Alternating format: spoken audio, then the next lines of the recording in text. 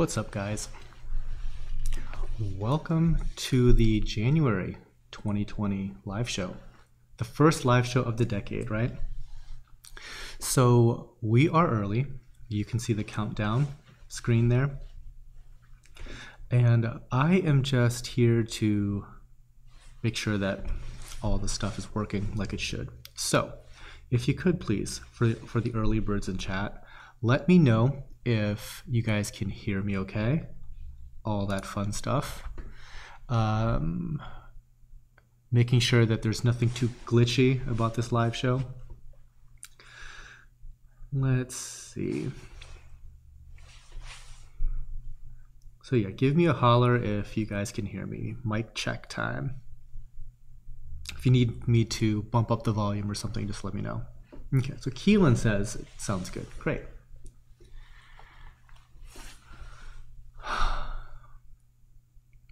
So Mike Spencer says he's looking forward to the show. Yeah, it's been a little while since we've done a live show. I mean, we did one last month, but I think the uh, the interval was a little bit longer than what I'm used to. Salty Reef Girl says that uh, from Colorado, missed a few streams, but I'm here now. I feel like I've missed a few streams, but I guess I haven't. Brandon Wynn, could you tell us who built your show tanks? Yes, uh, Reef Savvy down in Florida built my tanks. Harkins, good morning. Audio's good, video's good, excellent, excellent. So the reason why I'm asking, I mean, I ask every single time about audio and visual and everything like that. And I'm always kind of just in the back of my mind, a little bit concerned about technical difficulties or possible technical difficulties. Because while I was just uh, doing some ra random testing before we went live today, I happened to just be watching some YouTube while the broadcast software was off to the side, and suddenly it just completely crashes. So I'm like, oh, I guess that's a that's a possibility. Hopefully that doesn't happen during today's show.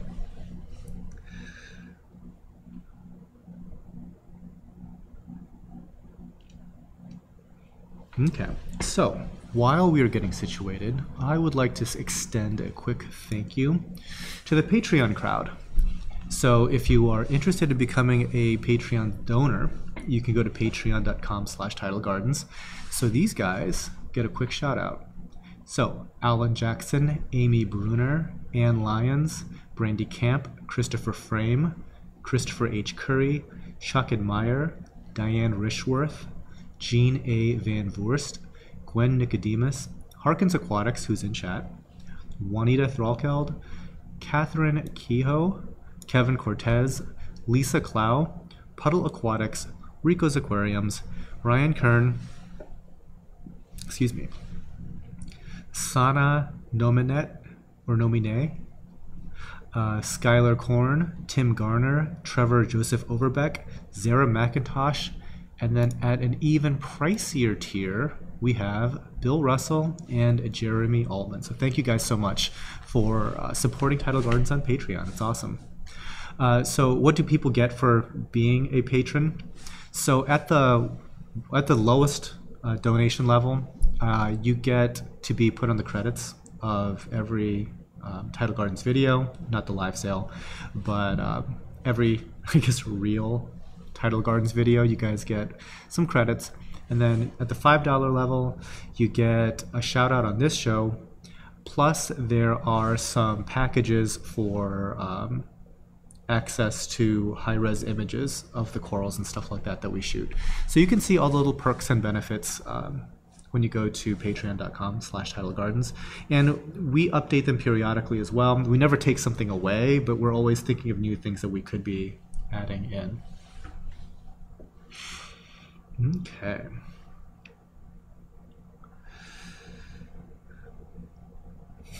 Harkins Aquatics. Loved your flash sale last Friday. Couldn't find my gift card though. Um, send me an email. We can probably cook something up. Mike Spencer, how long uh, do you hold purchase corals for local pickup? Do you have hours when to pick up? So, Mike, we don't have standard hours of operation. Um, so, pretty much every visit is done by appointment. We're generally pretty flexible. We like to try to get all the corals out of here within a week, but if you've got some special circumstances or something like that, we can be accommodating. If it's like two months or something like that, probably less accommodating, but we try to stay a little bit flexible as far as pickup schedules go. Uh, Max, are you going to the Southeast Expo in South Carolina? We're not. Right now, we don't travel a whole bunch at all, but that may change in the future. Generally speaking, we attend less than three shows per year, and it's it's very uncommon that we're out there.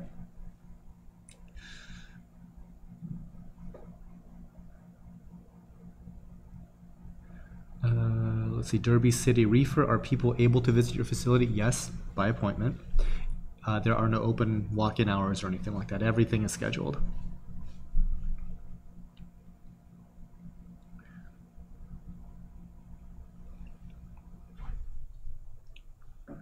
Uh, Jessica J. Hey Than, your video on polyp bailout showed an LPS frog spawn that attached to the bottom of one of your tanks.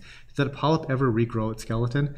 Um, Jessica, I think it just vanished one day, and I don't remember seeing it ever again. So it probably didn't, uh, but it was a while ago, and things move around here quite a lot. It could have blown around, it could be in a different location, and still we haven't seen it uh, because that particular tank is a 240 gallon tank, and stuff disappears all the time in there. Uh, Joel Rodriguez, any rainbow chalice today? Um, I don't believe so. Mainly because I don't believe we've ever really owned um, like the super high end rainbow chalices. Uh, we've always been looking out for them, but at the same time, uh, before our tanks get fully established here, I like to. Um, I, I guess I was gun shy about acquiring like really expensive corals because the greenhouse is fluctuates pretty greatly, and so the, the a lot of the more delicate stuff, it's kind of more of a risk out there. But in here, I, I, I view it as less of a risk, but we'll see how that works out.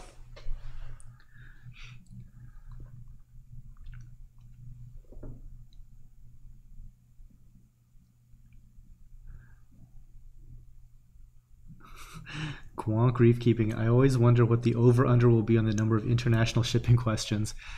You know, we get them uh, through email every single day, pretty much every day. Yeah.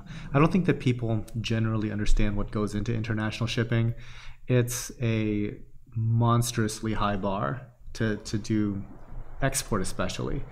So, um, yeah, I've been looking into it a little bit more recently. I've been having these conversations, but uh, short of contacting Fish and Wildlife, there's nothing really going to be in the works.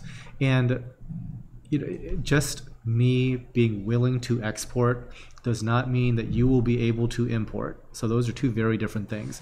That's not just like me. Oh, we'll just since I have all the paperwork done, I'm just going to FedEx you a box It doesn't quite work out that way. There's authorities on both my end and on your end that has to be satisfied. And um, depending on what country you're in, that may not even be possible.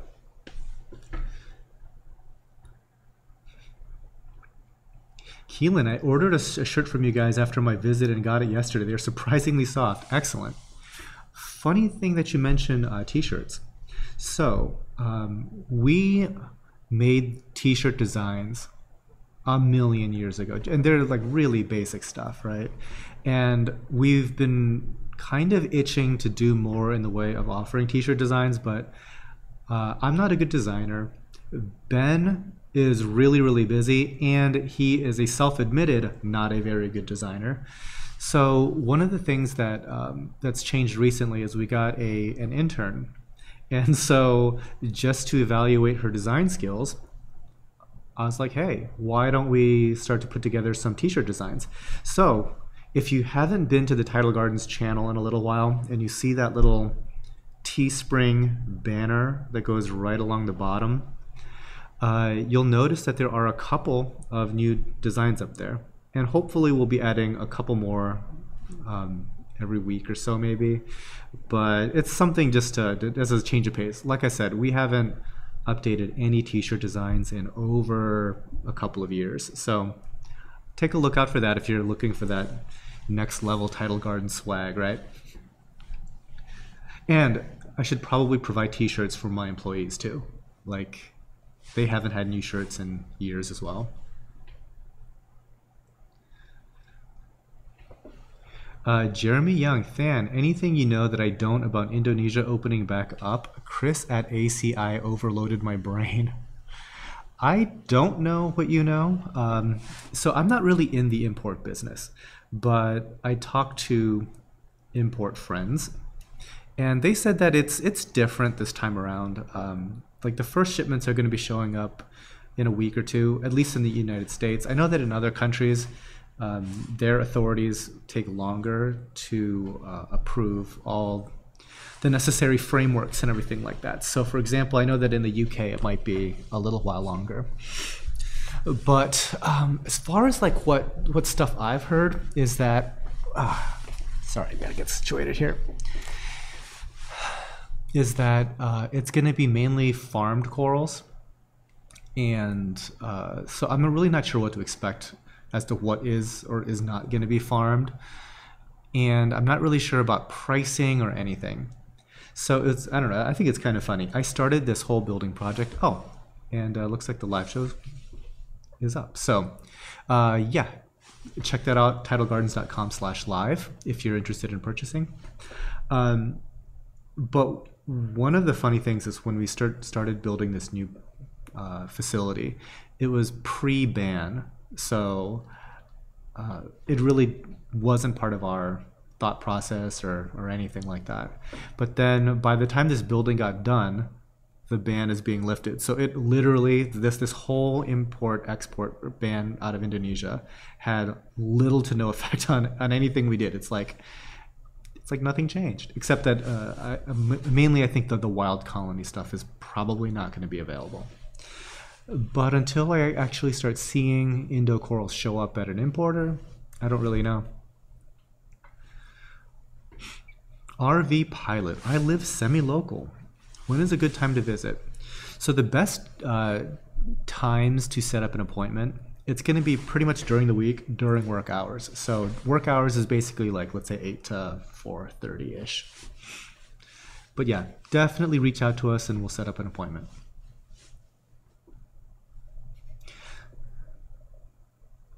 Keelan says, do the coral prints.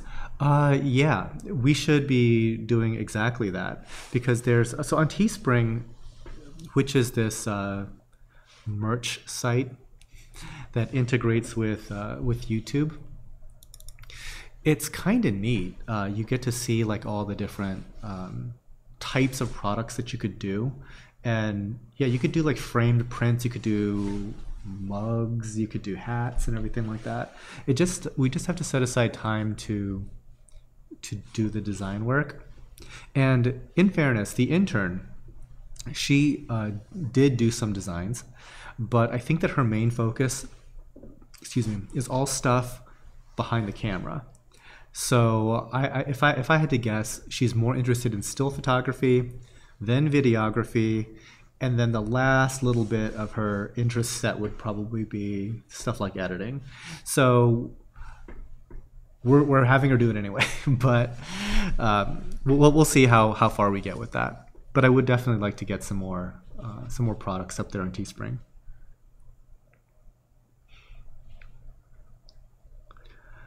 Uh, let's see. So Alfredo Reese Deus is asking, can you suggest a macro lens for the Blackmagic Black Magic Pocket 4K cinema camera? So I'm really well. Actually, yeah. I mean, my, so that's a micro four thirds mount, and I think that the Olympus, um, basically, I think it's a, fi- a 50 millimeter macro. is supposed to be very good. I haven't played around with it personally, but I remember when I was dabbling in micro for four thirds land that that was a very highly regarded macro lens. Pretty much any macro lens is going to be pretty good, simply because of the geometry and, and optics that goes into building a macro lens. It's a very simple, tried and true design. It's hard to mess up. And just by the very nature of a macro uh, design, they are tack sharp. So yeah, any true one-to-one macro will do really nicely. Uh, Zachary Buckland. Tips for a Hollywood Stunner chalice. Mine has amazing growth, but remains a pale brown. So if I was to mess with anything, I would look at lighting for that coral. It's not usually something that that changes a, a ton with light. I would, I guess, like just in our experience, they've mainly stayed very green. So maybe it's not getting enough light. Maybe it's getting too little light just play around with it.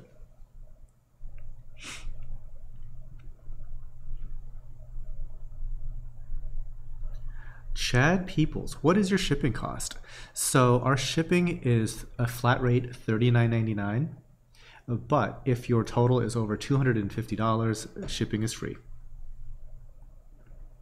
Silent one, he said $50. No, $39. So, well, 40, $39.99. the silent one. I deserve a wrench for all the work I'm putting in right now. you got my shipping wrong, silent one. Just kidding. Uh, Jessica J, what's a wrench? It's a mod. So I have to be really careful about who I give wrenches to, because I guess like um, I guess it's possible for the people with wrenches to royally mess up a live stream. Uh, I'm not going to put it into anybody's heads, but let's just say that if somebody with a wrench wanted to mess something up in the community, they could do it. So it's yeah, it's something that I just don't like hand out willy nilly. So pretty much everybody except maybe one or two people I've met personally. Uh, let's see. NC or Chops NC acclimation question.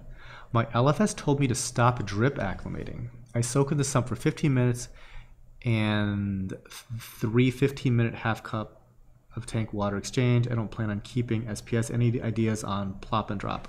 So when it comes to um, to drip acclimation, I don't really mind it so much, but I think people think about drip acclimating over the course of like three hours or something crazy like that.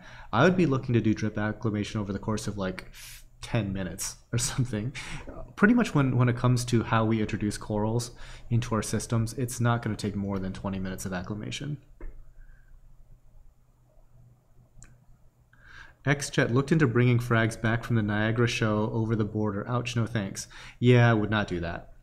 Definitely would not recommend doing that like I don't think that people quite realize uh, the risk that they're taking by trying to to get corals over international boundaries.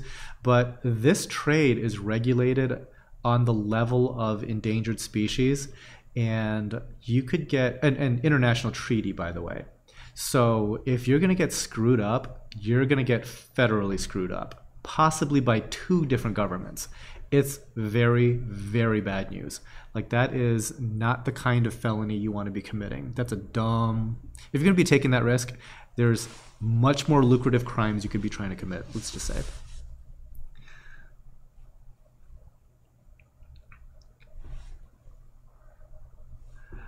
Yeah, Marcus Aurelius 187 uh, was saying, yep, the only disadvantage to drip acclimation I see is the temperature swings if it's a slow drip. Yeah, and the thing about drip acclimation that I like is that it is relatively smooth in the sense that you know you're not just like putting in cupfuls of water in there at an aggressive pace. Um, and we're talking about corals, not fish. So I wanted to make that clear as well.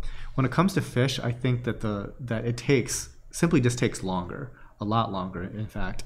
But for corals, 20 minutes should be fine.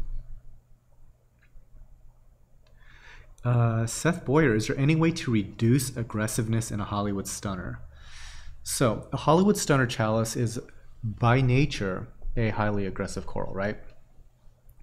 And one thing that I think could work, actually, I'll give you three possible tricks that might work, probably won't work. One is UV sterilization to knock down a lot of organics in the water. Like a lot of what causes that aggressive interaction is just the um, the fact that the coral is detecting something in the water that it's responding to. The second thing is uh, ozone. Very esoteric. Not too many people are going to be running ozone, but ozone breaks down organic um, molecules also in circulation. It'll also kind of like make your water clearer.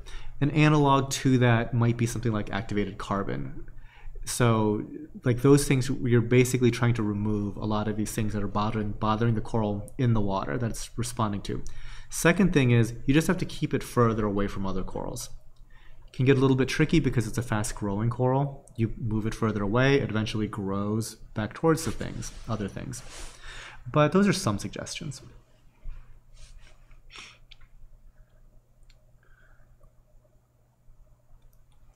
So, Homegrown Reefer is asking, hey, does the 2019 barbecue store credit expire? No, it does not. But if you lose it, you, you kind of lose it. Um, Because we don't know who got what. So hopefully you haven't lost the actual code. Trul, Hema, oh no, if I waited one day, my pink Leptoseris would have been 41% off. You know what? Send me an email. We might be able to to give you a little bit of a of a bump there to help you out. Send me an email. Uh, let's see. And yes, uh, so there are two different sales that we do. We we started to do a flash sale, like a Friday flash sale, which it's there's no like live interaction or anything like that. But sometimes you'll you'll see a um, you'll see some pretty good discounts on something like that, and also during the live sale here. Now the other thing is, your pink Leptoseris simply might be a larger piece, the one that you uh, get retail, versus you know something smaller that you might get on this show. Depends. Silent one, been here for four years now. Is only joking about the wrench. Yeah, I figured as much. Keelan, do you have a plan to keep your new building Aiptasia free? What would a QT process aimed at eliminating any source of Aiptasia look like? Every piece I've asked, every place I've asked said to rely on fish getting the babies. So, uh, a couple of thoughts. So when you're talking about a coral farm, Aiptasia is a super low risk, barely a nuisance sort of thing compared to like stuff that's really dangerous. So for most operations, Aiptasia control can be done very easily with shrimp or fish, right? Either peppermint shrimp or copper band or something like that that's known to eat Aiptasia. Now, for us, it's pretty simple um, because we're we're going through a much more aggressive quarantine process to get them into into this building, and then into the tanks. So it'll be very unlikely for our new systems to get it, just because like the, the way that we're cutting the corals and then gluing them down to new substrate, there's not a lot of real estate for even a baby Aiptasia to latch onto to get into quarantine. But once it's into quarantine, it's going to have to hang out for two months undetected by us. Kind of unlikely. But then, even if it did get into our system, and then we saw an Aiptasia, we're just going to kick it right back out. So a lot of times, places will struggle with not being able to kick something out into another system and then go back through quarantine. So yeah, we do have some things in place, but also of all the things I worry about, uh, I worry about aiptasia like none at all. It's it's it's such a it's such a low priority pest. Like the stuff that's towards the very top are things like Montipora eating nudibranchs and Acropora eating flatworms and stuff that are legitimately difficult to deal with. But aiptasia that can be remedied literally by a $5 shrimp.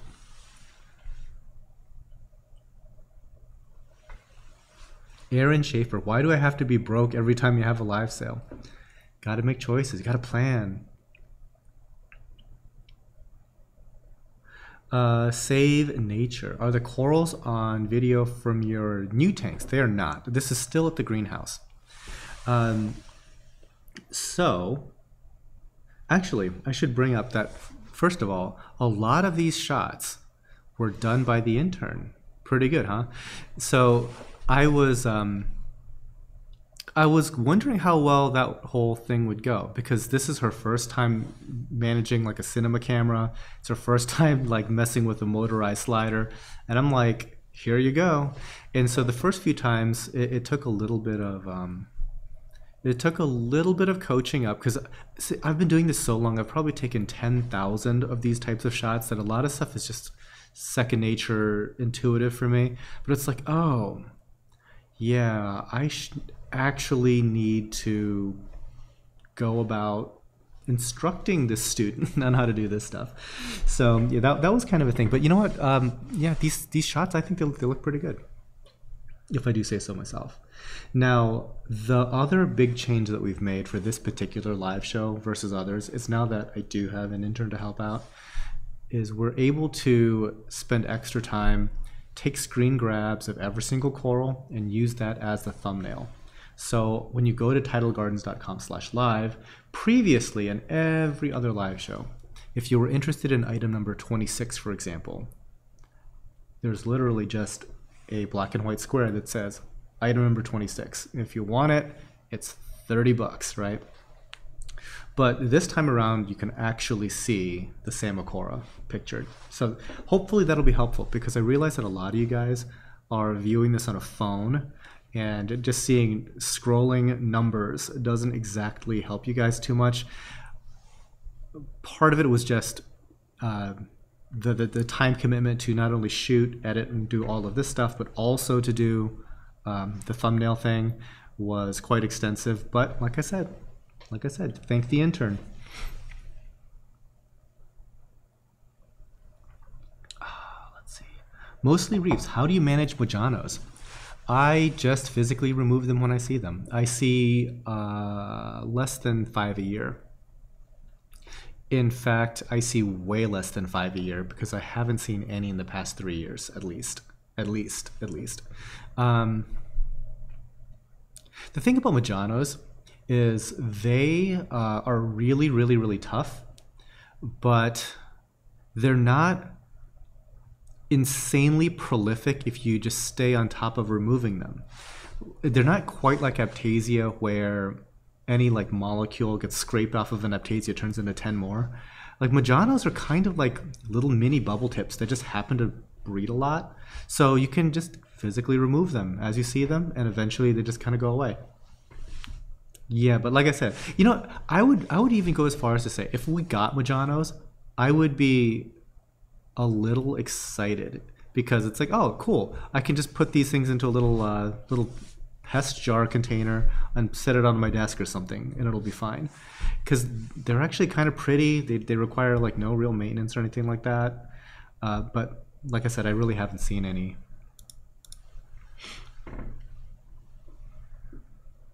And I apologize. I'm like a good minute behind on, on chat, but I have to I have to cover some things on my list. So Sleaze Stack is asking, any advice on getting rid of hydroids? Uh, yes, you're not going to like my answer though. It is going to be you with a siphon and tweezers ripping them out by hand over the course of months. That is the best way.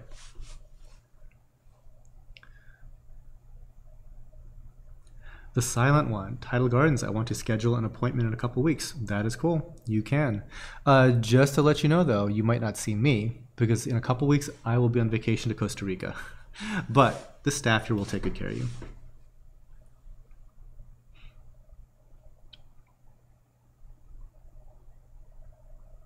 Old Man Reefer, Than, have you ever thought of selling aquacultures?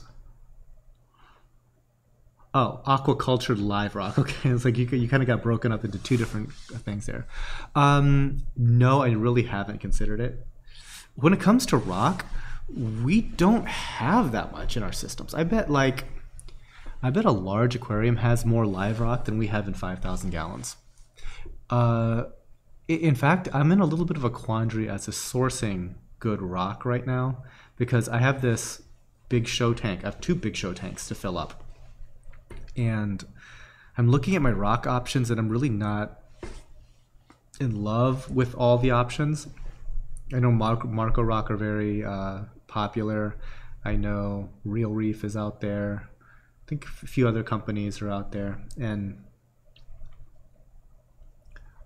my absolute favorite is taking like real reef live rock, completely sterilizing it, bleach white, and starting with that is just a completely different material than everything else out there. It's expensive. Um, not looking forward to have to the amount of something like that that I would have to get to fill my tanks, but yeah, when it comes to when it comes to rock, it's like I, I wish there was a super light, super porous calcium carbonate based material that I could just use, and preferably not ripping out of the ocean. That'd be nice too, because I just want it to be completely dead and sterile.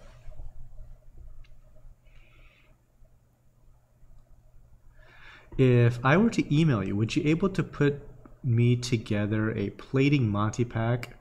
Uh, we could probably do that. Yeah, we, like we'll just uh, if you just buy like an SPS beginner pack or something like that, we can make sure that you get a bunch of different plating Monties. Yeah, but send us an email. Two please must be sleeping. Yeah, yeah. I've noticed like noticed the lack of super chats right there. No two please, no super chats.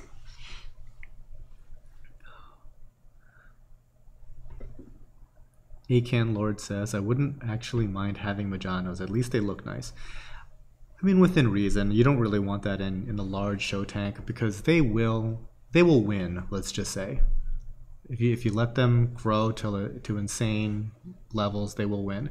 And one, tank that I've seen where the person had was moving and they've com- completely neglected the tank because they plan to rip the whole thing down and build something new entirely.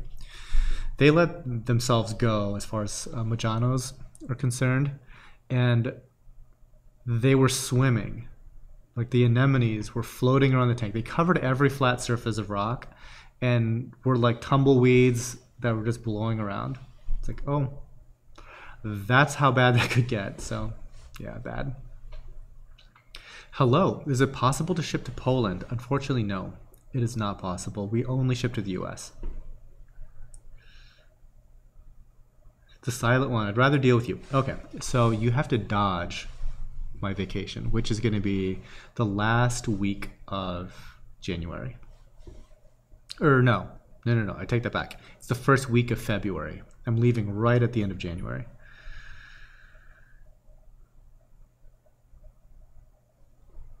Any advice on selling coral locally via Facebook and or Craigslist? Uh, no. Uh, so I don't think it's allowed on Facebook any longer. I don't think that that's I mean, I know that a lot of pages just get shut down left and right on Facebook. We've never done it. Uh, on Craigslist, your mileage may vary. I mean, I, I, don't know. Maybe there's a whole bunch of Craigslist people that, that can give you better advice. But yeah, I don't mess with, with Craigslist at all. Dan, why not just make your own rock? I looked at what is involved. Um, it's kind of a messy process. I might, but it's it looks kind of messy. Tech Your Talk, what is up? What's up? Good to see you uh, were able to, to pull away and hang out with us for a little bit. So, by the way, if any, uh, if there's any more camera questions or lens questions, now is the time because Tech Your Talk knows a lot when it comes to about the uh, the equipment end of the spectrum because he, he sees a lot more things than I do. Like I know a lot about what I'm shopping for, but what I'm shopping for, 90% of it is not consumer stuff. So when people ask me like, what should I get for my my, my Sony a7 III? I'm like, I don't know. I've never even held the camera. I'm familiar with it. I've never held it. Tech Your Talk is your guy. He's, yeah, he's always hands on with with a lot of um, the ongoing tech. So.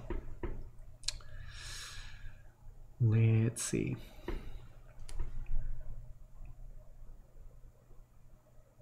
Yeah, so Marcus Aurelius, it takes a long time to cure to be pH safe. Yeah, I heard it's like a really long time, and the the amount that I have to do is out of this world. Because I mean, the, the, the tanks that I'm I'm filling are they're ten feet by four feet wide, big big tanks.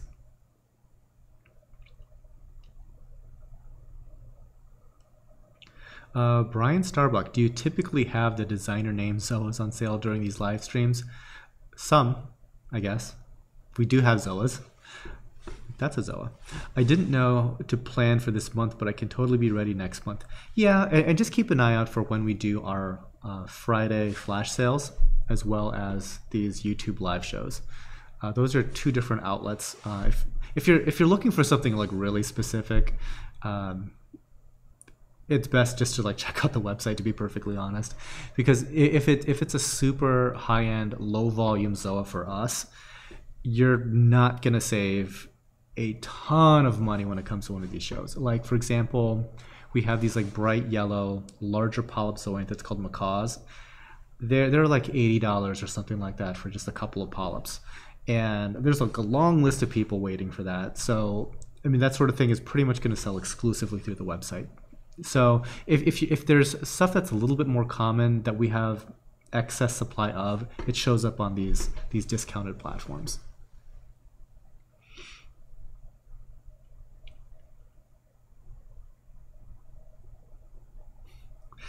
Keelan says, in regards to visiting the farm, I can confirm Ben is a good time and worth your time. Yeah, he's going to be a lot nicer than I am too.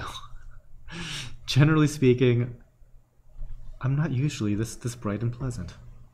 No, it's it's fine. Uh, most I, I, think the people that, that have met me probably would disagree with that. So anyway, Ben is good. Ben will take good care of you.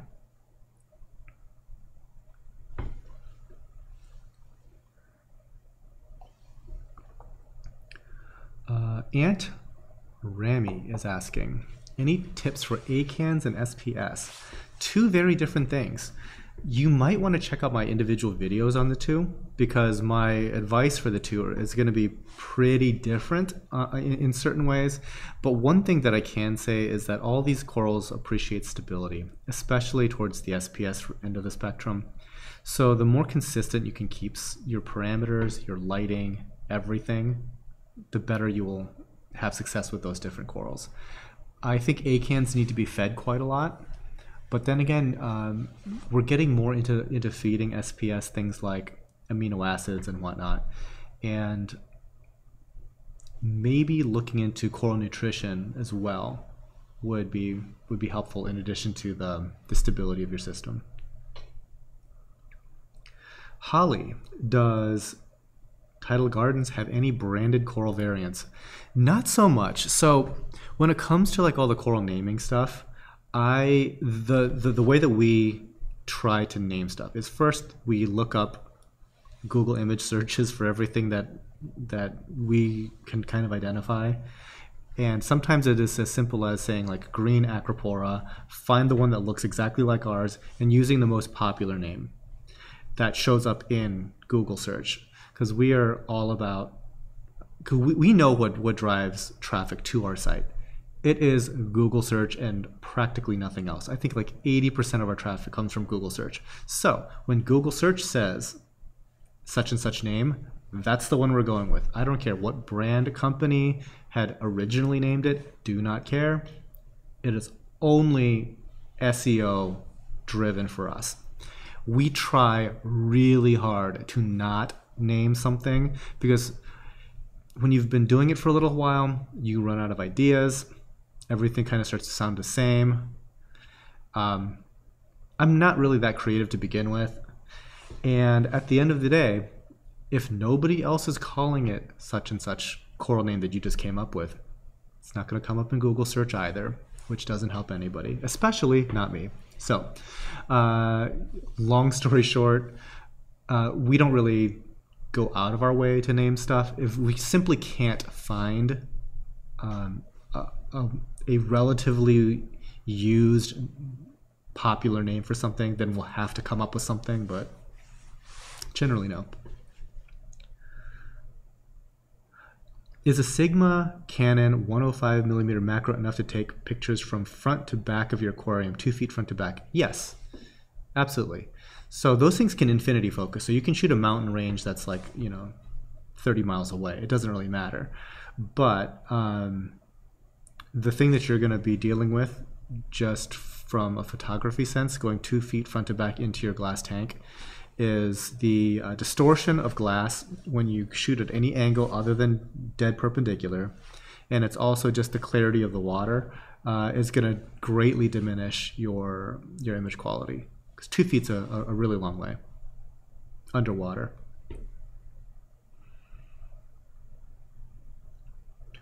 Old Man Reefer, what is the best way to get reflection out of glass when shooting video?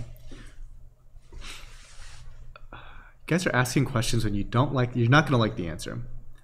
Best way is to eliminate the source of light that's causing that reflection.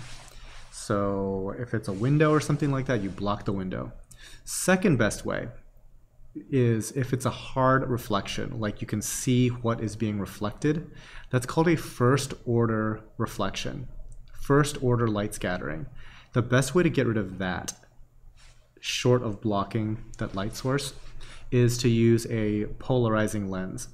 So if I remember from physics, light wavelengths has like a, it's like a, imagine like a sine wave, right? But then you can imagine like a second sine wave that's perpendicular to it. And so what a polarizer does is by aligning it to the to one of the 90 degree axes, it will remove one of those sine wave functions of the light. So you can take one of these um, like circular polarizers and look at uh, like the top of your tank, and you'll see like this hard reflection from the lights and everything like that.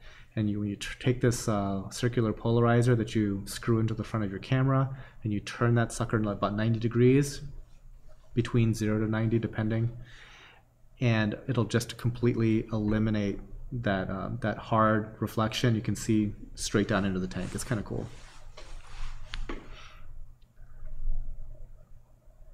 Third way remove it in post have to throw that in there I guess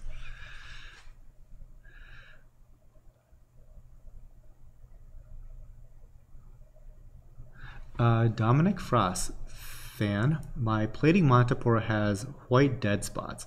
What could have caused this? There were no pests besides an Asterina star I already removed. Um, if anything settles on the coral, that could cause some damage. Sometimes uh, new plating Montes and stuff like that, they can get, if, if they don't like something in the water, the way that they kind of tighten down will will rip their flesh at certain points. Um, it could be honestly any number of problems.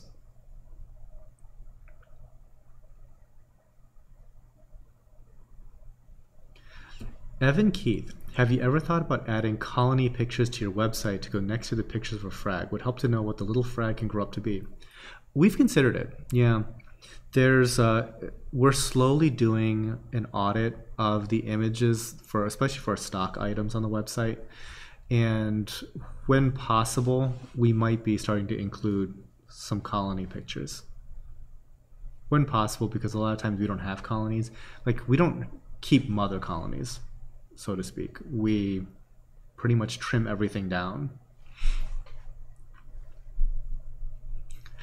Two please with the 4.99. Sorry, I'm so late. Hey Than, hey all.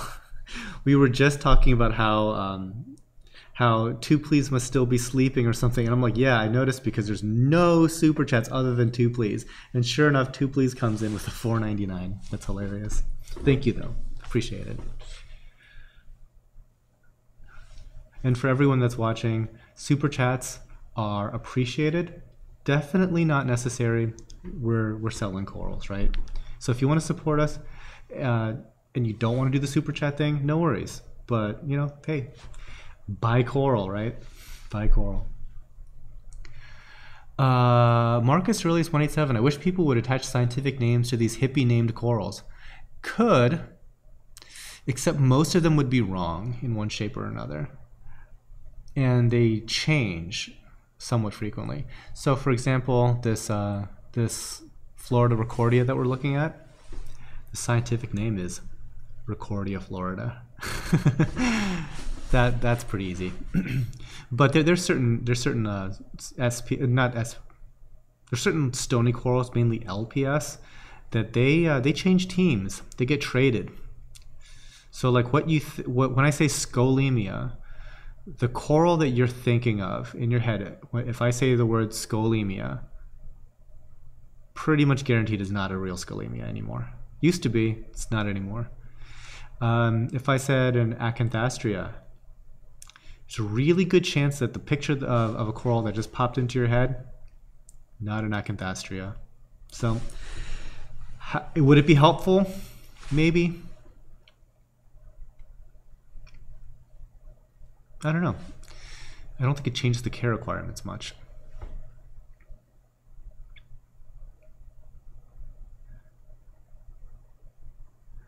Uh, let's see. Uh, the silent one seems like prices have gone up on things. Depends.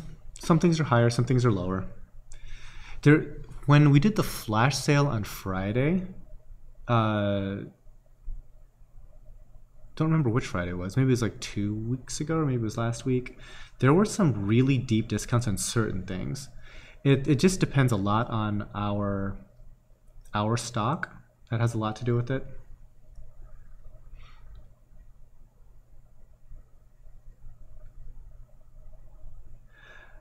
Vladimir Naz- Nazarian. Sorry, I'm gonna butcher your name. My bad. Do you ship to Paris, France? Unfortunately, no. It uh, we only ship to the U.S. though.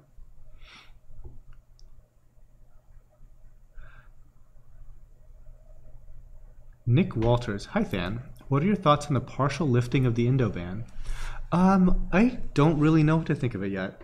Uh, so the the corals, as far as I know, aren't in the country yet. We're we should be seeing them fairly soon. I'm I'm kind of curious as to what's going to show up. Um, I think that getting more variety into um, into the selection, I think it will be really good. And two, please, $1.99. Thank you again for the super chat. How is Indo? Uh, yeah, I, I'm I'm curious to see because it's from what I understand, it's it's going to be farm raised, maricultured corals that are the only things that, that are going to be allowed in. Um, from what I understand, the last time that it got shut down to begin with, there were issues with people sending out wild corals as maricultured corals, and there's a lot of Wild West type corruption going on. And so the government, part of their rationale for shutting it all down was just this uh, completely illegal behavior going on and not the enforcement mechanisms in place to to monitor or correct that. So this time around, I'm wondering if it's going to be like, oh, this is really only mariculture, or if it's going to be like a little bit fringe Wild Westy, because even um, in non-Indo countries, there's like some screwiness when it comes to, uh, let's just say, completely legal import-export. Uh, I've seen some some corals come through Australia, for example, that are 100% 0% chance that they came from Australia. Let's just say, but they got through permit-wise, was not Australian. So we'll see. We'll see. Um, but I think that I'm I'm excited for it just because for the last like two years or something, we've been seeing hardcore, primarily Australian corals, and there was a time that Australian corals were like the rage because they were the new thing. But people, I think, really undersold how good and how pervasive Indo corals were. And only, it was only after the ban took place that I that I learned that like Indo was ninety percent of the import industry, like ninety percent. Everything else, all the other geographies, Fiji, um, Tonga, all these places occupied a small sliver compared to Indonesia. So to get that variety back, even if it is just the, the farmed cultured stuff, I, I'm I'm interested to see.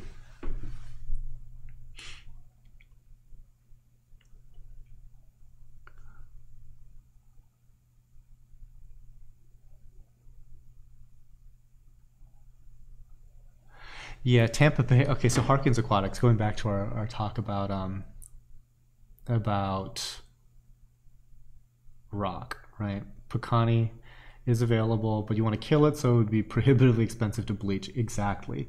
So, I mean, I even was talking to people about importing it directly and, and all that goes into it. It is it's shockingly expensive, even just at the at the import level, and because you're, you're talking about shipping rock, and there's like weight quotas and stuff like that, and and to fill fill a plane, filling a plane and having it ship anything to you is going to be expensive. And that's assuming they don't charge you for anything that's actually on board the craft. But once you start paying for rock by the pound to fill said plane and then to send said plane over to you, it's going to be really expensive. So we'll see.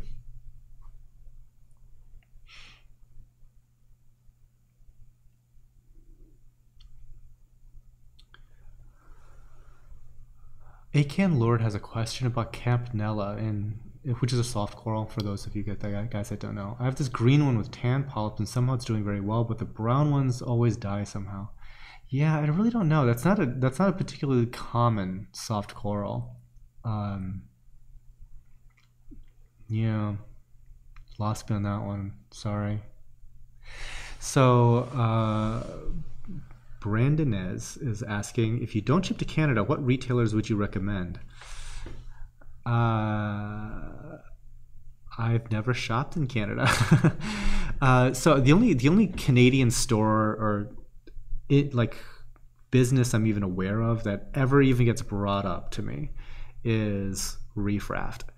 And I've seen some pictures of their SPS. It looks pretty cool. I have no no input on them as a company to deal with or anything or how they do business or if they still exist. I have no idea. It's the only Canadian anything I've heard of.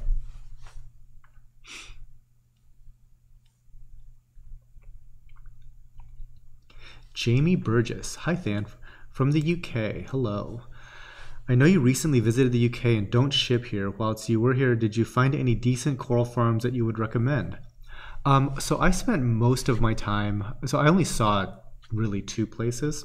Um, I saw. Uh, I saw. I am blanking. AAC, um, which is I think Advanced Aquarium Consultancy, and I saw Eco Marines, and and I actually I also saw. Um, oh, who are those guys? Charterhouse Aquatics. So my exposure to a lot of the stores in the UK is, is kind of limited, but um, yeah, I mean those are some that that I thought were good.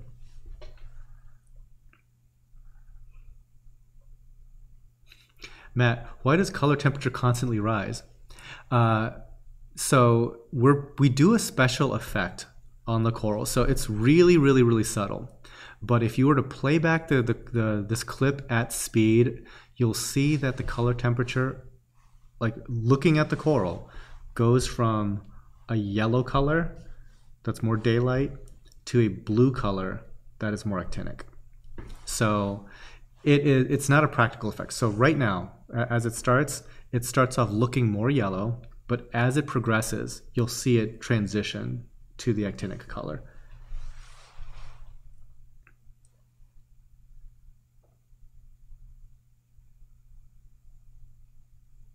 And Tech Your Talks got me ready. Thank you.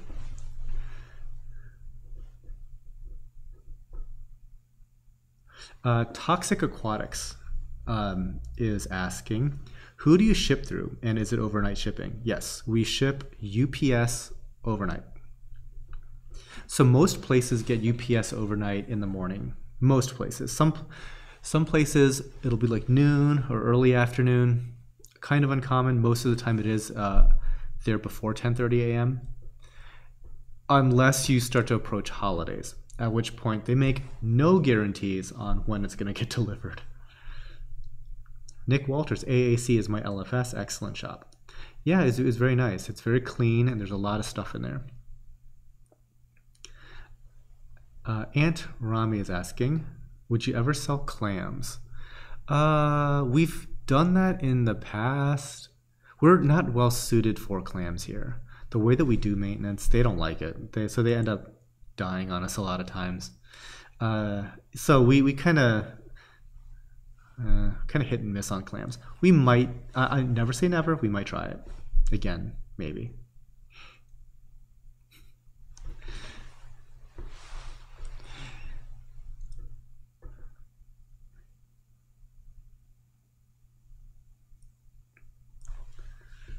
Uh, Adam, did, did you use to ship FedEx or am I confused? Yes, we used to ship FedEx.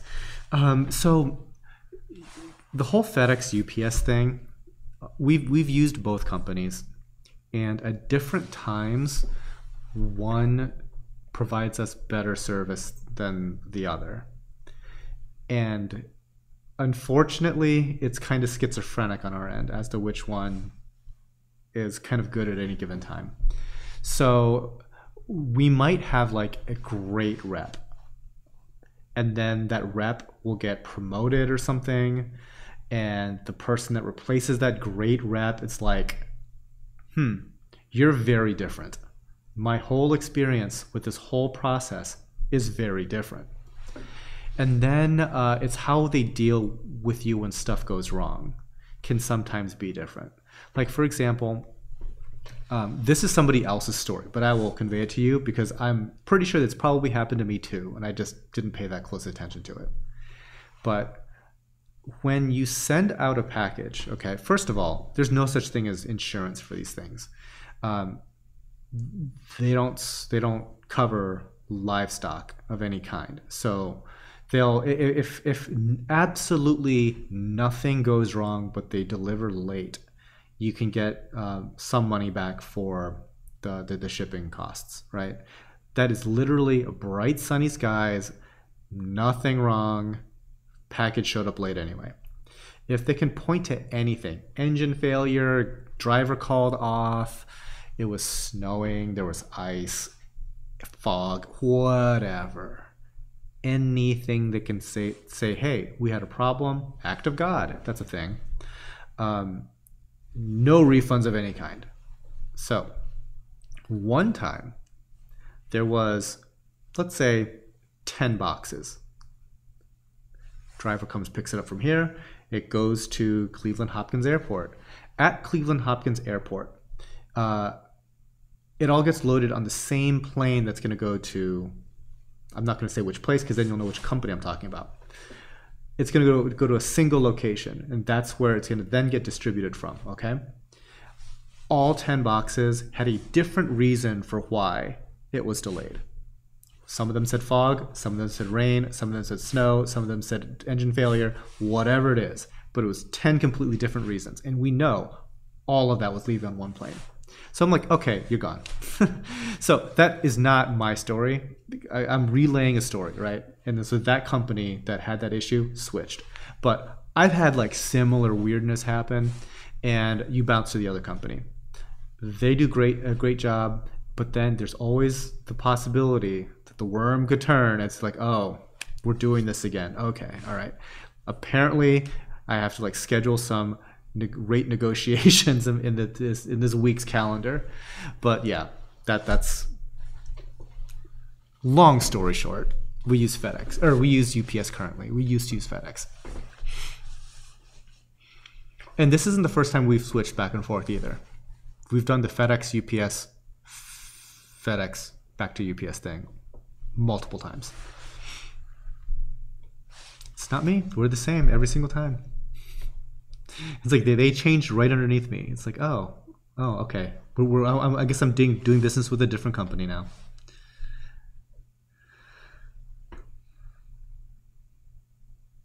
Uh, toxic. I'm, I'm sure somebody's already answered your question, but I will answer it in case anybody else is wondering. Do I have to pick it up from their location? I've never ordered livestock online yet. You do not have to pick it up from our location. If you are local, you have that option of scheduling an appointment and coming and seeing us directly and, and picking it up there. Uh, otherwise, we do ship. The shipping rate is $39.99 flat rate unless your order is over $250, at which point we are shipping to you for free.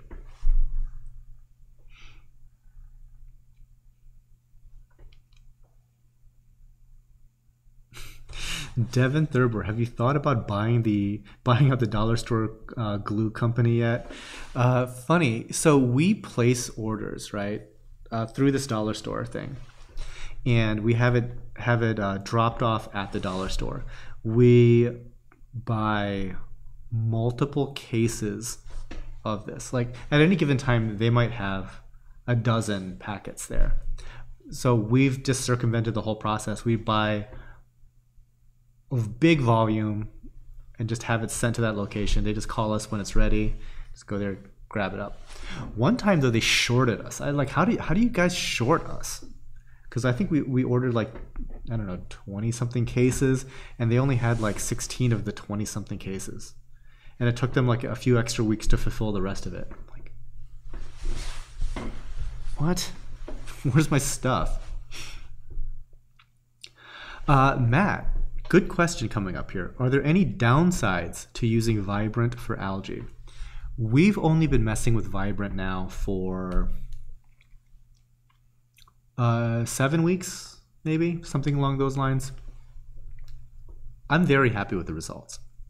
The only thing that, that I'm seeing that might be a thing is the way that the bacteria or whatever it's doing is affecting the algae might also be affecting the corals and they might be down coloring slightly. So if you look at this live sale, um, for some reason, I I would expect slightly better coloration given the fact that we're into mid-January.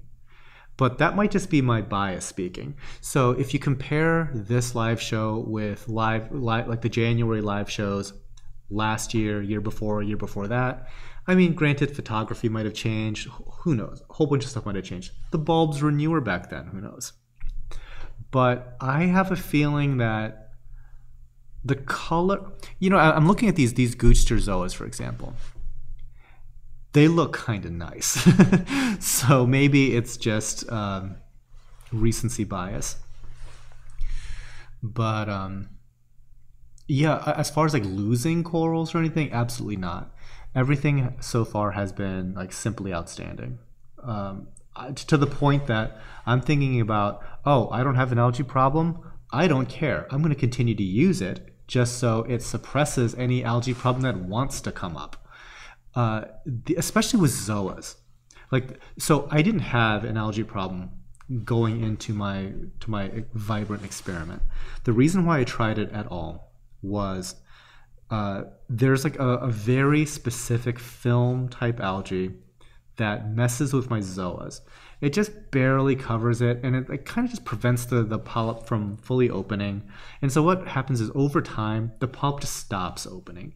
And I have to go back in there and, and, and um, either brush it off with, a, with a, a makeup brush or blow it off with a turkey baster.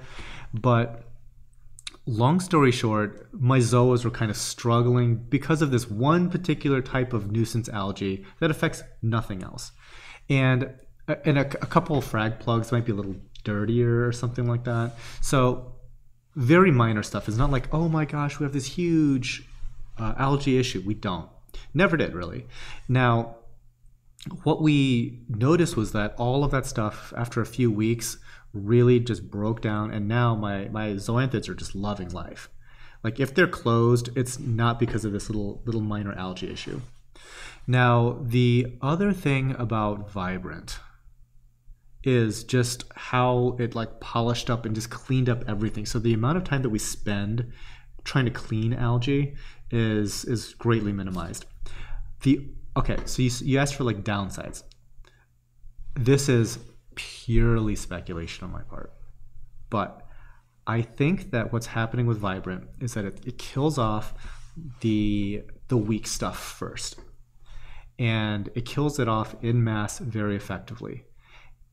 And what that does is it opens up opportunities. It's like Batman beating up low level um, robbers and like bank robbers and like people that were like mugging some lady trying to get their purse. He's beating up all these like you know homeless people and stuff like that, right? Because Batman's a, a rich weirdo. And then and then he starts taking on organized crime and he's like starts to like to knock out the mafia bosses and all this stuff. Well, when you create this vacuum, uh, it, it creates like this opportunity for like really dangerous things to like bubble up, and that's when you start to get into his like whole rogues gallery, right? That's kind of what's happening that we've noticed because we don't really, again, we didn't really have an algae issue, but we had like bryopsis pop up for the first time in forever, and I'm like, huh, that's interesting because all the algae is gone except for this little patch of bryopsis. And it's like really weak bryopsis. So we're like, scrape, scrape, scrape, siphon, siphon, siphon, all gone. And then it, it, it pops up like little patches here and there. I'm like, okay, I think that's really all it is. It's just we've created this vacuum of, of opportunity for like the really rough stuff that can survive Batman to like proliferate. And eventually they will get tamped down too. Because like I said, we're not super long into it. And, and also, it just takes longer to deal with some of those, um, the really tough algae anyway. Things like Valonia, Bryopsis, and stuff. So I'm giving it some time. And it's not like it's an infestation of it either. It just popped up in one place, whereas before we would never see it. But I think that back then it was just kind of suppressed by the rest of the algae that was consuming the nutrients. So that's that's my take on that. All right. I apologize. I'm way behind on comments. Let me get caught up here. Uh, Aunt Ramy, do so I'm, I'm going to go as fast as possible. Are walking dendros like anemones? Do they sting other corals or are they somewhat safe? They're basically an LPS. So if you're worried about a Duncan stinging something that it touches, imagine that a walking dendro is kind of like that. Nava down south, Memphis, Tennessee, FedEx, lol. Yeah, so if I said if I said uh, Louisville, Kentucky, you know who I'm talking about. If I say uh, Memphis, Tennessee, you know who I'm talking about exactly. Adam says, "Yep, business side of logistics, we have the similar stuff all the time, and that's not just me. Certain customers are like, hey, can you please send by the other carrier because that carrier in this town delivering to my house." sucks. The other place does a much better job once it gets to me. And I understand that, but we can't.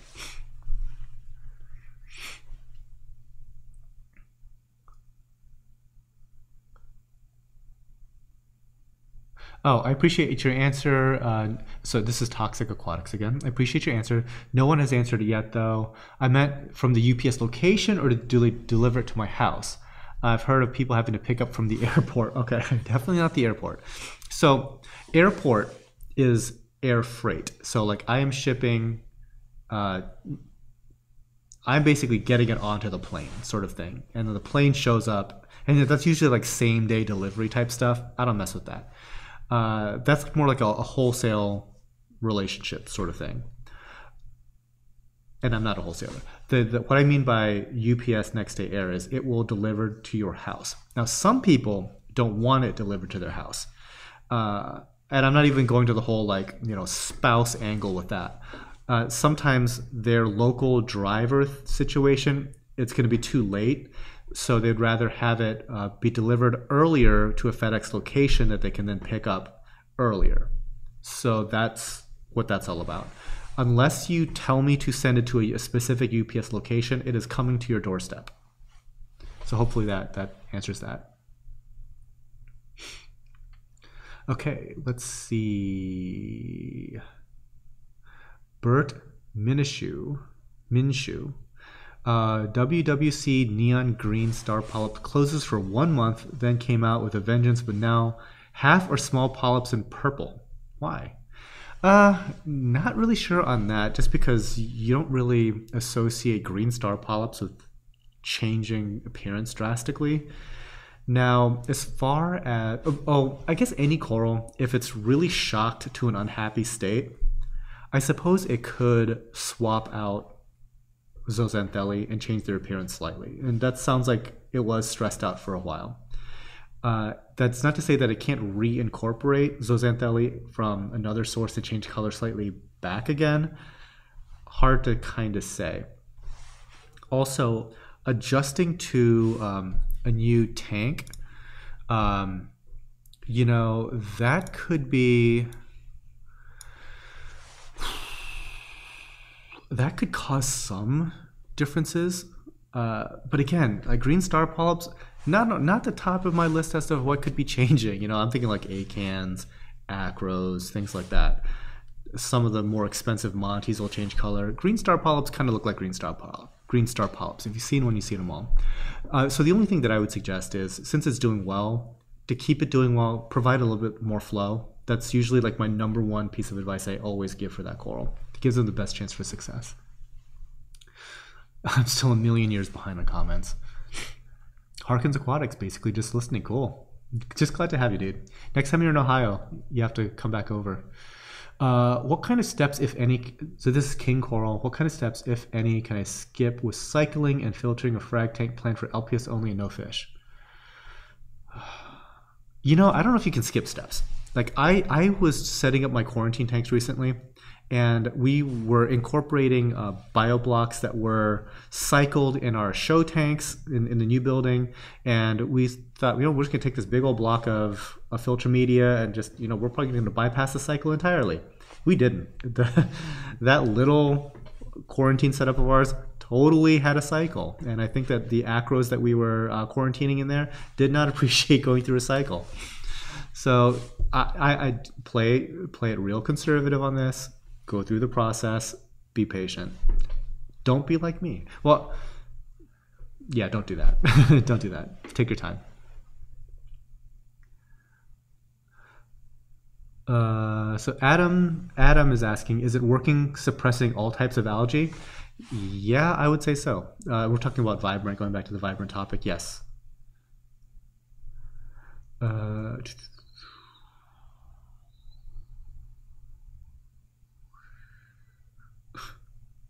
mostly reefs. Than might be Robin. nope. If I'm if I'm anybody, yeah.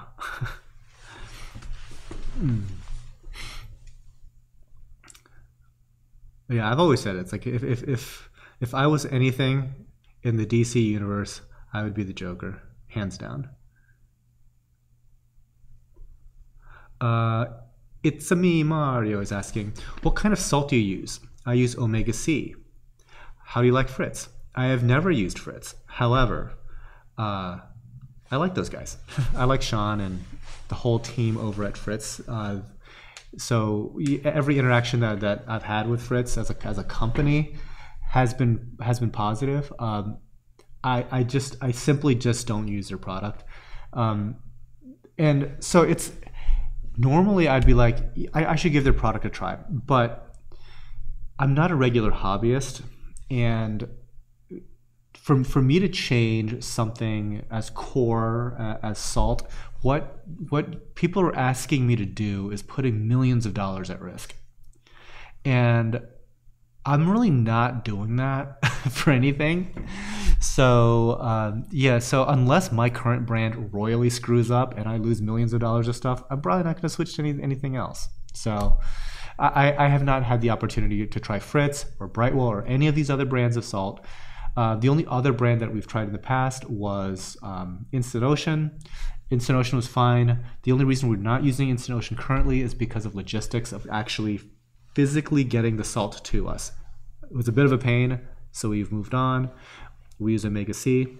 Um, my only problem with Omega is that it mixes up dirty. So it's like really gross at the bottom of our of our salt makeup station and we have to go in there and really clean it and it still is kind of dirty. But from what i understand a lot of salts are dirty.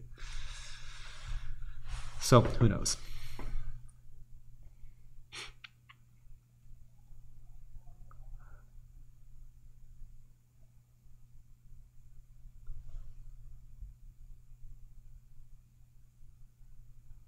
Uh, okay, I see uh, some people asking about lighting.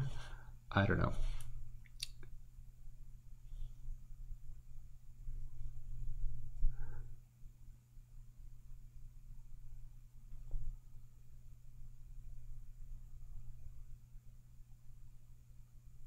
Trying to get caught up on all the lighting talk.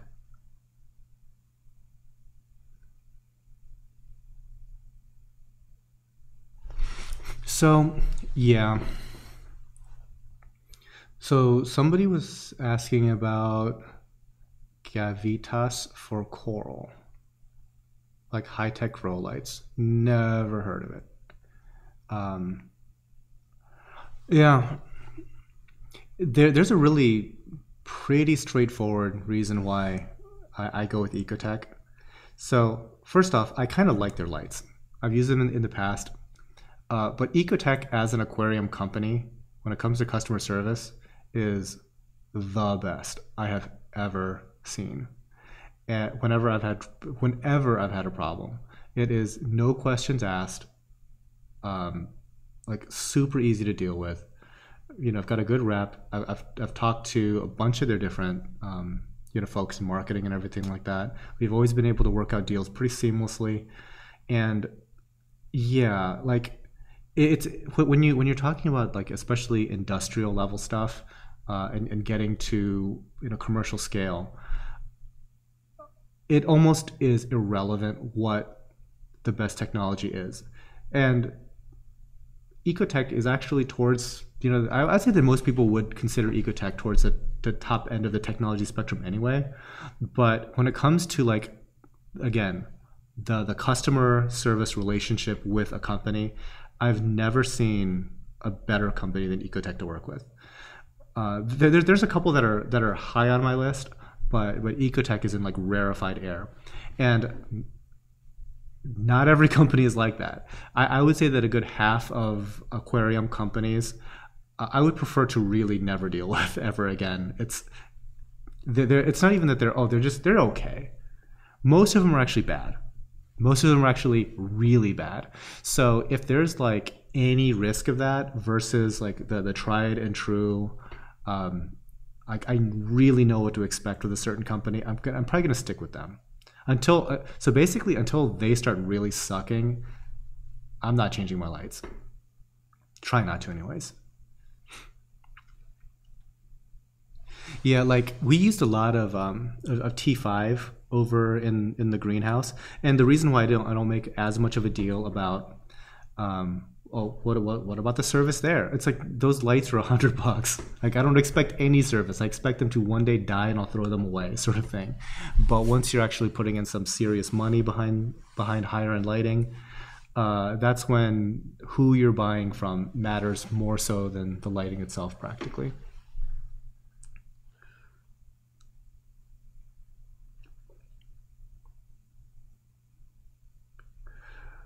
So, okay. One thing about the, the grow lights, they represent the sun better than any grow light out there. You know what represents the sun better than any light? The actual sun. And we have that in the greenhouse, and the actual sun is not what you want in these tanks. I can tell you from 10 years experience how flawed the real sun is when it comes to growing coral. Yes, Matthew says Ecotech is in Pennsylvania and Iowa, so it's close to Ohio. Yeah, you know what's funny is that um, one of the one of their guys, uh, Jay, that works at Ecotech. You know, we've we've exchanged emails back and forth and everything like that. And he he's in uh, I don't know he's within driving distance of my location. The first time we ever met was in England of all places. All the times we could have met in the states, it never happened, but we met in the UK.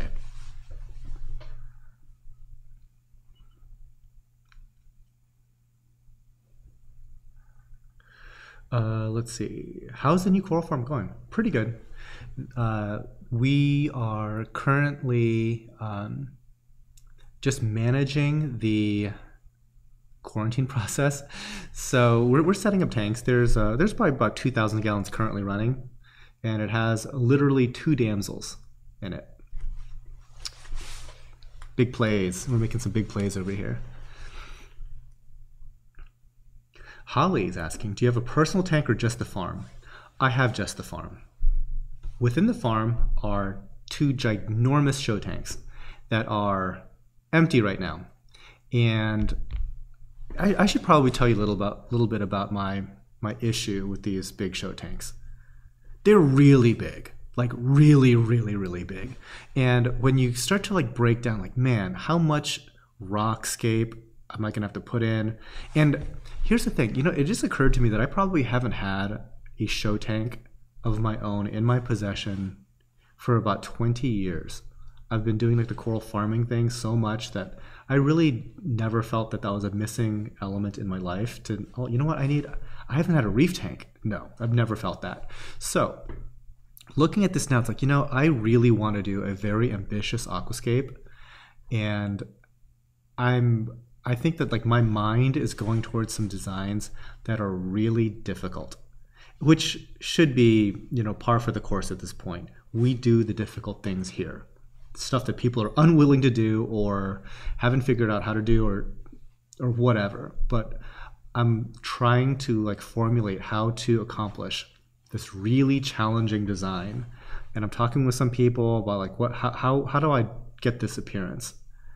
Um, which is like as much magic trick as it is stacking rock so we'll see how that goes it could be a horrible failure but we're going to try it not going to give you too much, too much there.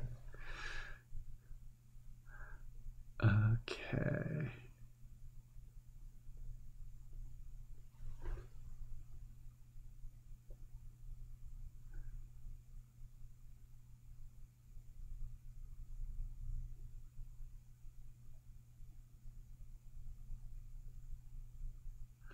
AL, Than, can you expand on that thought? Why is the sun flawed at growing coral? Okay, so the thing that's that's messed up about the sun is that first of all, with real sun, you're getting seasonality. So there's a big difference in photo period and intensity going from summer to winter. That's the obvious big overarching thing, right? The other thing is your corals, the most of your corals, not all of them, but most of your corals, are not being grown in six inches of water. So the spectrum that they're receiving from the sun in your tank is most likely the wrong spectrum. And if you're if you've ever been a diver or gone diving, the difference between being uh, let's say five feet underwater, 30 feet underwater, and 100 feet underwater, those are three different universes of light. So within the first, you know, 30 feet, you're gonna pretty much see a rapid drop off in like the yellows and oranges and stuff. It is physically getting absorbed and removed. So by the time just 30 feet down, most of those corals are only seeing blue. Once you get to like 100 feet, it is only that that like near ultraviolet blue look that you're going to see if anything. You won't see a hint and not I mean not even a hint of yellows or reds or greens or anything like that. Any of like the, the longer wavelength stuff, all gone. Only like the, the higher powered short wavelength stuff is going to get there. So most of the the tanks that, that we keep, they're 12 inches deep, meaning the corals are above that, right? Uh, it's it's not the greatest for that. It's just all wrong. And you're going to get like, well, you, you, might get good coloration in certain areas. You might get less great coloration in others. There's a lot of, of wonkiness there. And again, the seasonality that plays into it can mess stuff up. Okay.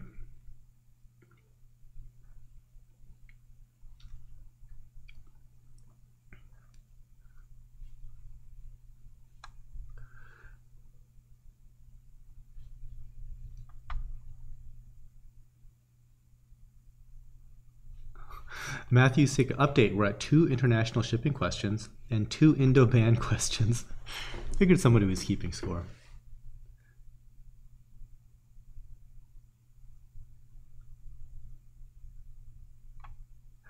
Uh, let's see. Than, what is the danger level of low pH when it comes to corals? Assuming other stuff are okay and the drop is not sudden. Okay, so chronically low pH is probably what I would if I could think of any analog, it'd be like osteoporosis. So a calcium reactor will dissolve um, media at about a pH of a little over 7, 7.1, 7.2. They're supposed to run in the in the 6 range, 6 point something, but media does dissolve right around 7, most media anyway. So if your um, if your pH is chronically low, there is a possibility that you, your corals are dissolving their skeleton just being in that water. So it, it could cause them to have like a more brittle skeleton, a lighter skeleton, any kind of like growth issues associated with that. So there, there could be a number of, of problematic things with chronically low pH. I don't really know what you mean by low pH, but if like our tanks are consistently about 8.3, but I would start worrying if they were dipping to about 7, 9. I don't like to see 7.9.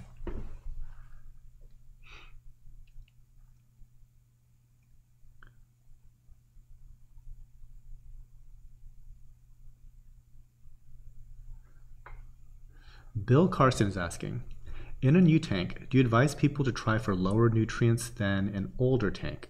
I want to avoid the uglies, but don't want to go for zero nutrients as that leads to dinos. Um, do you advise people to try for lower nutrients? I don't know if I ever really do the super low nutrient thing, whether it's an, a new tank or an older tank or anything. Like I, um, I think you're going to run into a lot more issues bottoming out things like nitrate and phosphate than um, if you were to to have slightly elevated. Like I would feel way more comfortable if my nitrates were 15 and um, my phosphates were super high. Let's just say, like imagine a super high phosphate number. That I feel much better about that than like zero zero.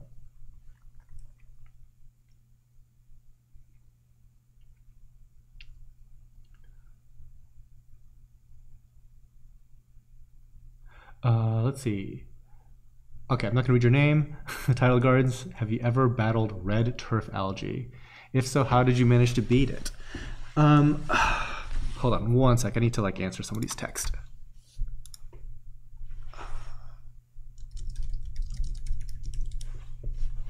Um, okay. How did I have I ever had red turf? And how did I how did I beat it? Yes, this was easily 10 years ago that I had this problem. Okay. Uh, it was this insanely like, virulent, destructive red uh, red turf. It would like grow into the skeletons of like my um, my Aussie like stony corals and literally like rip them apart. It was, like it was insane. It's like just it would go through their flesh and everything like that. It was disgusting, and it grew on absolutely everything, just like thick mats of this stuff over all the rocks and everything. What it involved us doing was removing all the rock, setting it outside and killing it. As far as like our tubs, we would scrape it with a chisel and vacuum suction it using a big mag pump and sending it through a micron filter and then a UV sterilizer before the water would, would return. And so it was a constant process of scraping and siphoning and filtering and UV sterilizing over the course of probably six months is how I beat it. So it's just a lot of a lot of diligence, a lot of work, and just nuking all the rock that had this red algae associated.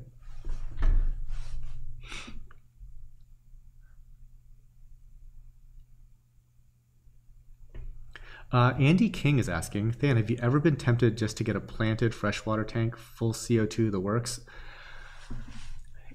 I think they're really pretty. Um, I never really considered getting one myself, but you know, you never know. Maybe like upstairs here in more of like the office spacey areas, I might set up like just like a, a smaller freshwater thing. There's a lot of cool freshwater tanks out there, but you know, I was just you know, I was talking about how I haven't had a a reef aquarium that I've had to you know aquascape and everything like that myself um, in a really long time. Practically double that, and now you're talking about my. When was the last time I did freshwater? It's been a while.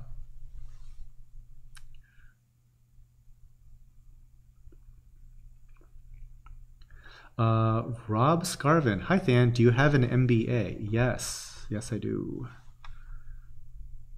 Easy answer. Uh, Scott Morrison, are all mushroom corals okay to be placed next to other types of mushrooms? So, like if you took like a, a Discosoma and a Rhodactis and you stuck the two together, they're gonna fight. They're probably not gonna fight enough to kill one another, but they're probably gonna fight. Uh, and if I had to guess, the Discosoma is probably gonna win that one. So yeah, when in doubt, give them a little bit of room, give them a little bit of separation.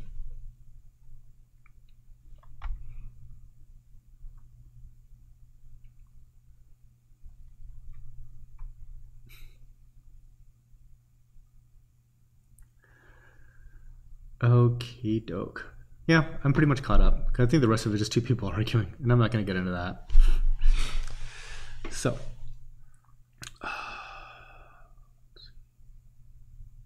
ATF in the house. Okay. Some suggestions on corals to cover and encrust uh, varied colors. Okay, so just some suggestions. I don't know if you're making a suggestion or asking. Uh, Favites, Psammocora, Leptoseris, others, hard, hardiest. So, so first off, Favites is going to be really slow.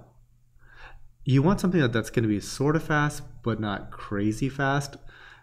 Uh, but Favites is on the super opposite end of the spectrum. It's going to be really slow.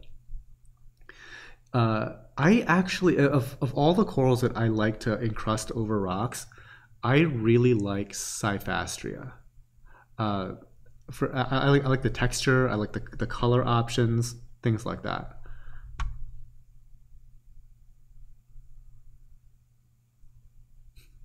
Nathan, what's up? Remember the time I called you during live stream just to interrupt your live stream? That's what friends are for. Yeah, you did that. That might be the last time we actually talked to the phone. True story. Yeah, that's pretty much it. Yeah, we need to get together again. I know that we, that I was at your house somewhat recently, but we, sh- we should hang out again. I don't see my friends enough. For those of us who love sand, how infrequent can I get away with not siphoning monthly? Some people say just having a cuke can stir the sand regularly helps. So, Leslie, um, I'm probably a super hypocrite to answer you with anything other than very infrequently. So when I did used to have an aquarium, I I would probably try to siphon it every time I did a water change. Now that I have like this coral farm thing, we have several tubs that have um, that have substrate. And in many cases, that substrate hasn't really been messed with in over a decade. So two extremes, right? I've done the uh, once per water change thing, and I've done the never thing. I can pretty much tell you that the never thing is working out. We do have cucumbers in there, but we have chronically high levels of nitrate and phosphate. Very high levels. Why, why am I saying it's working out?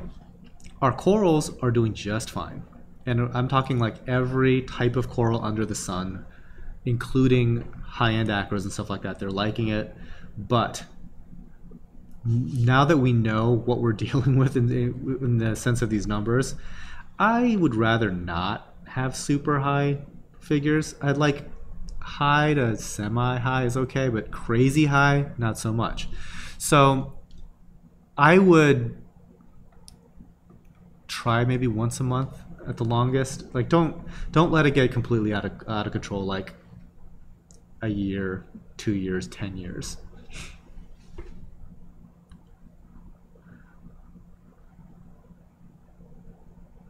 Uh, S2 minute. Fan, have you ever used Southdown Play Sand? And have you ever used it for a deep, deep sand bed? Uh, yes. This is, okay, so guys, way back in the day, there was this stuff called Southdown Play Sand. What it was was what you would find from like a regular um, sand bag, like from Caribsea or whatever brand. And I forget what Caribsea was back then. Let's say, just for the sake of fun, it was $20 for a bag of sand for, I don't know, like a 30 pound bag. I don't know. So just just give you like an idea. Let's say it's 20 bucks for something like that. Uh, this playground sand, Southdown, used to be sold at certain Home Depots. Okay, not every Home Depot, and depending on where you found the Southdown sand, it was either the silica sand, which was not what you wanted, or it was this pearly white Caribsea sand. Literally the same sand, separate packaging. Okay, so the difference is same sand, different packaging. Difference is twenty dollars versus like three fifty.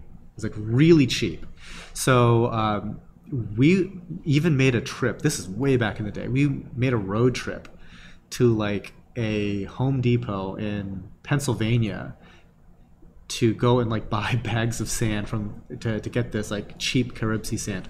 So yes, I have used it. Uh, looking at it now, uh, just for like large systems and, and especially on the farming end, and I and uh, again, I have to say this is for like for just for the way that we're doing farming and stuff here. I am leaning towards not using sand because uh, I, I, am seeing where it is a, a maintenance issue long term, and I'm not seeing a lot of the benefits that I'd like to, other than appearance, which I do think it looks nice, but it's uh, yeah. It's a sacrifice I'm willing to make. How's that?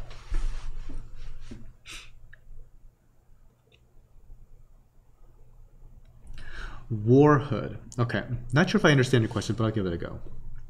What would be the minimum amount of gallons before you started to dose nutrients?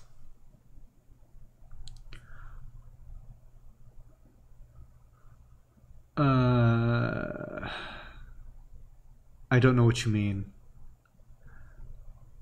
I could just start answering what I think you might mean, but I'm actually even drawing a little bit of a blank on that.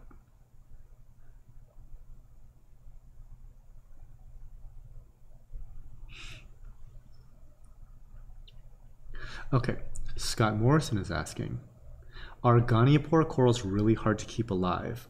Guy at my LFS told me to stay away from them, I won't, but are they that hard? So there's about 20 different kinds of Goniopora, 20 different species, if not more. Some of them are very delicate and have like a really bad reputation for survival. Um, that's where a lot of the um, the bad reputation comes from. Are these really fragile ones that are? It's kind of like the, the three months and it's dead sort of thing. Uh, these days, the ones that are coming out of Australia are very hardy. Uh, we've got like a nice little collection growing. I'm super happy about it because I, I really like how Goniopora look, and the ones uh, that that we've got have some really cool coloration. Like we've got this one that everybody now asks about. It's like a sparkle. I think my stream just died.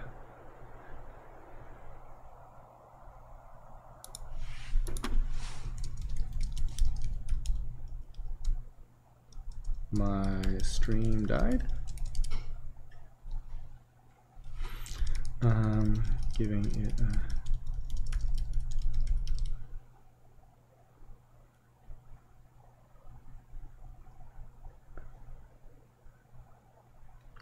Okay, so I'm still live. Okay, I'm just checking because, yeah, see, it keeps cutting out. My thing says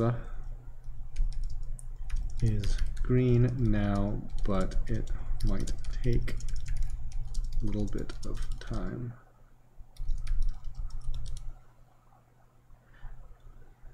Okay. So, anyway, it should be, uh, hopefully it's recovered by now. Yeah, every now and again we get like this massive lag spike. It's like, upstream is dead. So hopefully it's it's not too bad. Okay, good. I'm, I'm seeing that people are saying, "Oh, it cut back," but not now we're good. Good. Who knows? Who knows? But yeah, Goniopora. Um, we've we've got a few in our collection. I wish we could grow them faster because there's this like really expensive one, and there's like a, a, like a ten person wait list for it. And I'm like, I could use that money. I could I could use to sell ten of those. We just don't have ten to sell. So hopefully soon.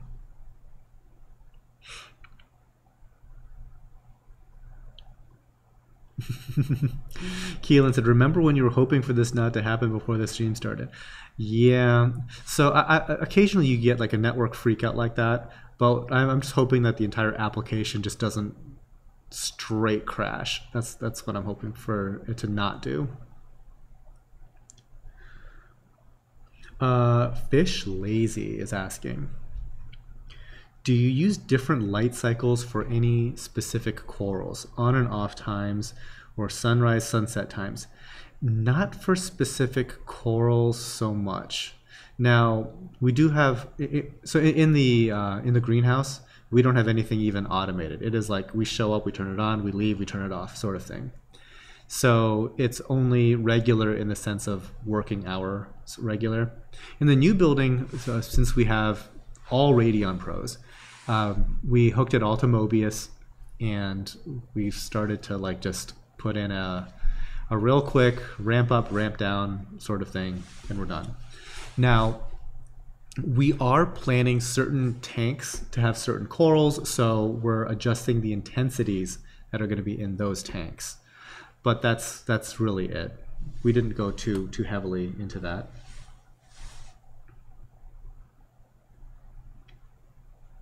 So I'm like looking at my little list of, of talking things, and I think I covered them all.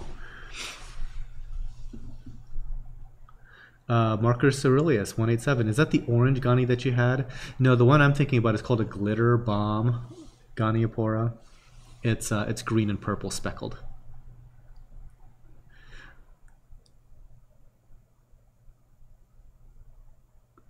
Uh, S2 minute. I remember one person state that they use an ounce of skimmate to feed their display tank and that the SPS would show great polyp extension It's possible. I mean, it's if you if you equate skimmate to roughly uh, just amino acids and stuff, uh, you're talking about you know dissolved organics, a lot of which are kind of protein based. Um, yeah, they, they they might like it a lot. Uh, it's you just don't want it to spoil in the water. So we've gotten into into dosing quite a bit of amino acids. Right now we're using AquaVitro Fuel. In the past we've used some other brands like Brightwell. Um, I might even take a, a, stab at making my own amino acids just because we go through so much of it here. It might make sense for us to just figure out a little concoction of our own and, and try it, but haven't yet.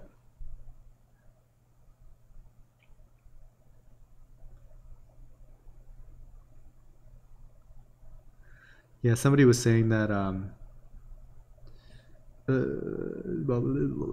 that the, that their OBS was acting up yesterday. Yeah, the silent one was saying that. Uh, Lunatic Rider 209. Are you going to be doing any live streams in the new building? Technically, this live stream is in the new building, but I think what you mean is, uh, are you going to be shooting any of the any of the corals in the new building? And yes, we probably will.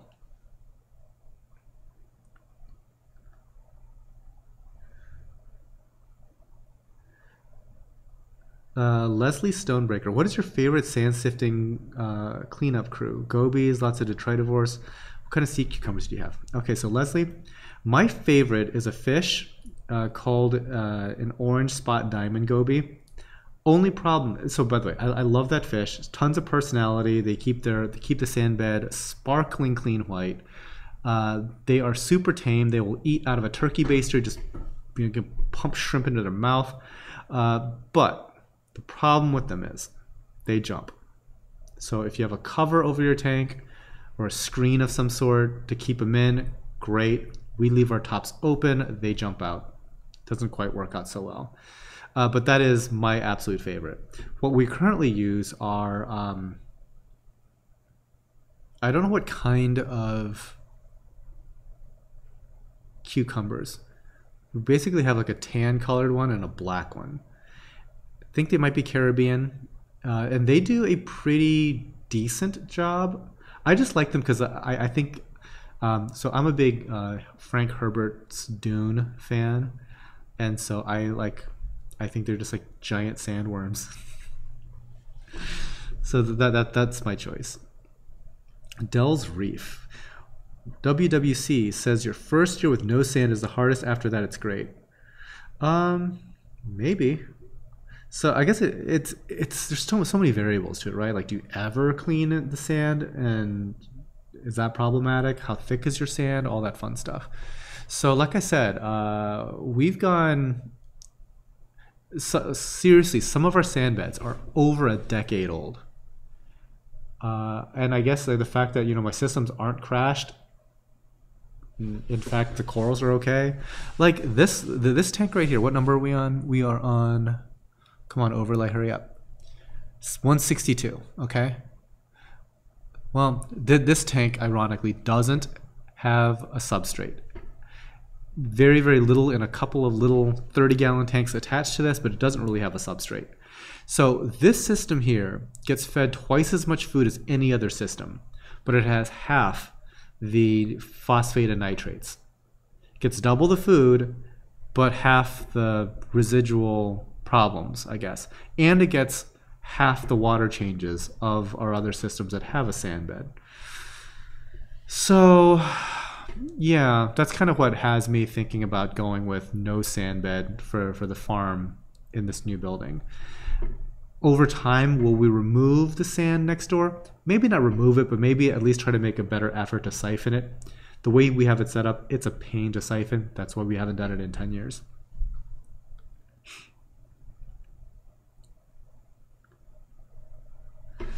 Okay, let's see. Okay. Adarsh is asking, in my reef tank, there is so much tapeworms. Does it harm the coral if it does not? Then please suggest me to do some tips to remove it.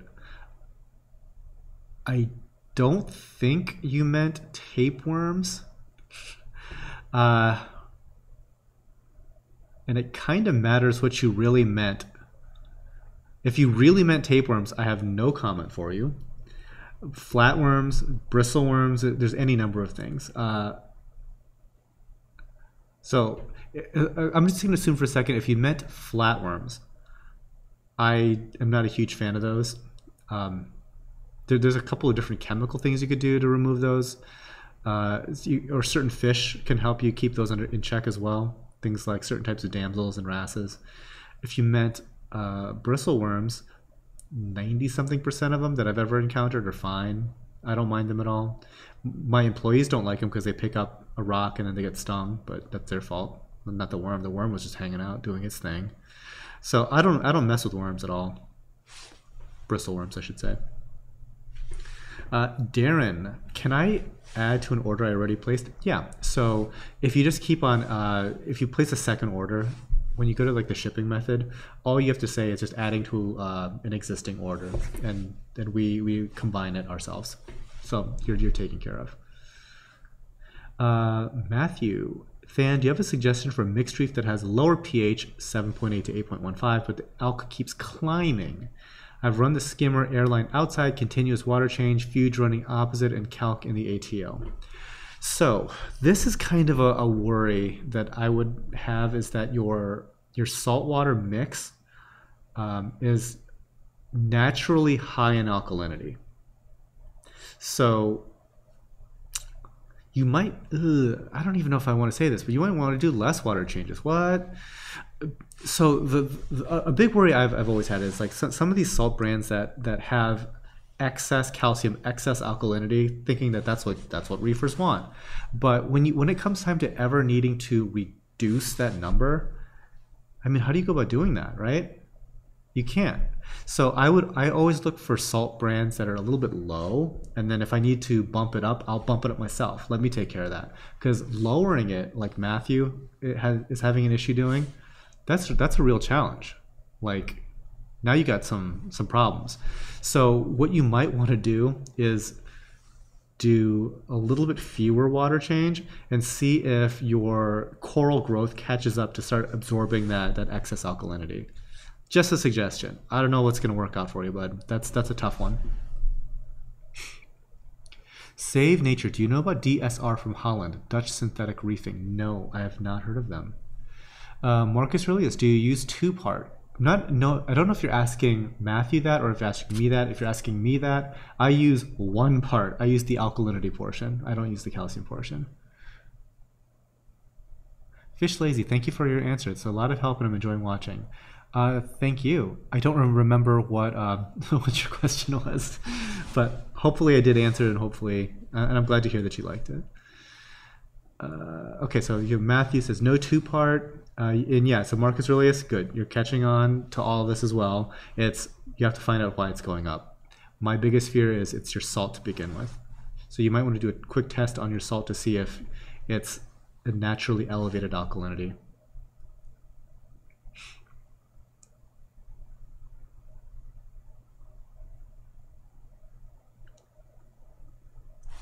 Uh, Beth, Beth Stonebreaker. What are some unique coral types that are rarely found, maybe due to difficulty to breed aquaculture, but you think are super cool?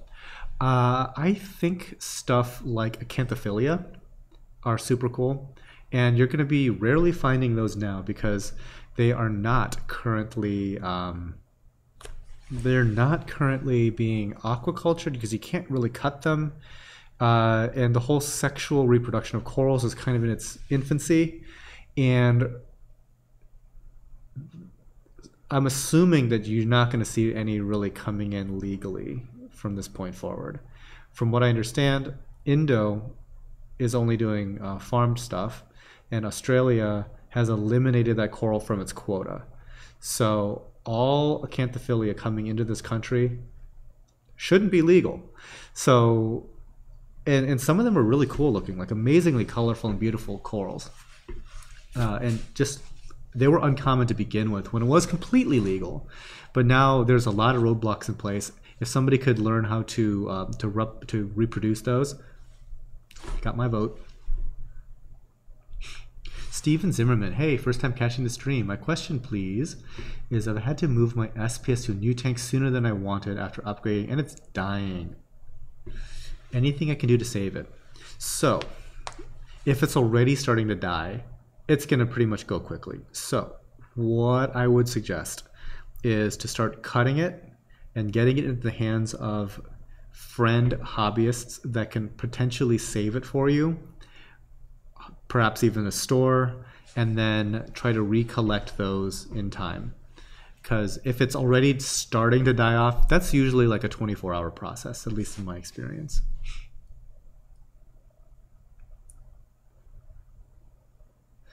Uh, Bert Than, what is the brightest glowing coral you've ever seen? Bling bling. Um, depends on what color you're looking for, but if you're just talking generally, the brightest colored coral is probably, in terms of like glowing, there's a few that are top of the list, but I would say a 24K Leptoseris is a bright, bright highlighter yellow. Uh, uncommon color to have a lot of fluorescence in, and the intensity of that fluorescence is really impressive.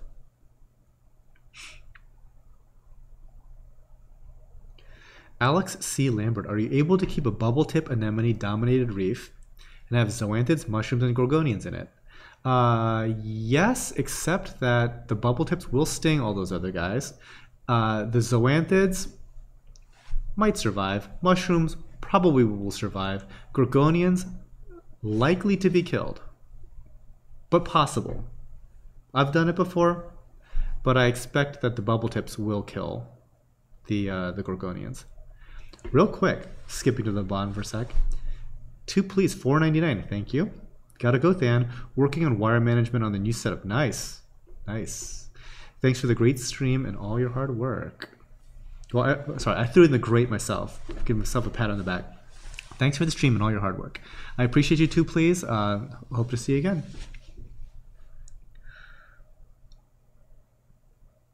S2 minute, making your own amino acids. Interesting. Would you please post a video on that when you do? Sure. We'll see if it's uh, any good. we'll see if I'm any good at it, I should say. Okay, so it looks like we're on item number 177. I think we're going to 193, so we've got about a half hour-ish to go. Are you going to be a reefer for life? Glass film. Uh, well, since seems my life is almost over, probably. I will probably be doing this for a little while, yeah. Uh, Keelan, do you think aquaculture of Christmas tree worms, worm rocks is viable with Porites? Do you think that it might be possible to reintroduce the worms into another stony coral? Um, you know what? I've never seen the worms reproduce. I'm sure it's possible, but I've never seen it. Like there's other um, feather duster type worms reproduce like crazy in my tanks, but specifically Christmas trees don't. I, I wish that were the case because it's cool. Two, please smash those thumb, thumbs up, people. He's uh, just throwing that little dollar ninety nine, uh, like uh, the little fade away on his way out. Thanks again, man. Okay, so going back to, to Matthew's problem, I do run Red Sea Coral Pro, which does have elevated levels. Yeah, yeah, that could that could be the that could be the thing. Maybe consider doing uh, the Red Sea's lower grade, just so you might have less inter, like, potential chemical interactions because it, it might be too stark of a difference going from uh, Red Sea to like a completely different brand and then back and forth. There there's, could be some uh, chemical funkiness that can happen.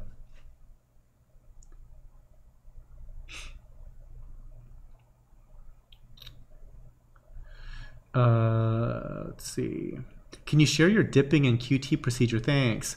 Uh, so 007 LSV. Uh, yeah. So the, the quarantine procedure so far has just been putting it in the tank and sitting there to look at it. But uh, there's actually two videos that you could check out in the meantime. Well, three. There's a really old one where I talk about dipping corals. Uh, and I think it's like just in acclimation in general for corals. So you can check that out. That's from several years ago. Then there is a more recent one about uh, about the the concept of quarantining, and then there's one about my actual quarantine tanks. That's the most recent video. So those are three that you can check out in the meantime.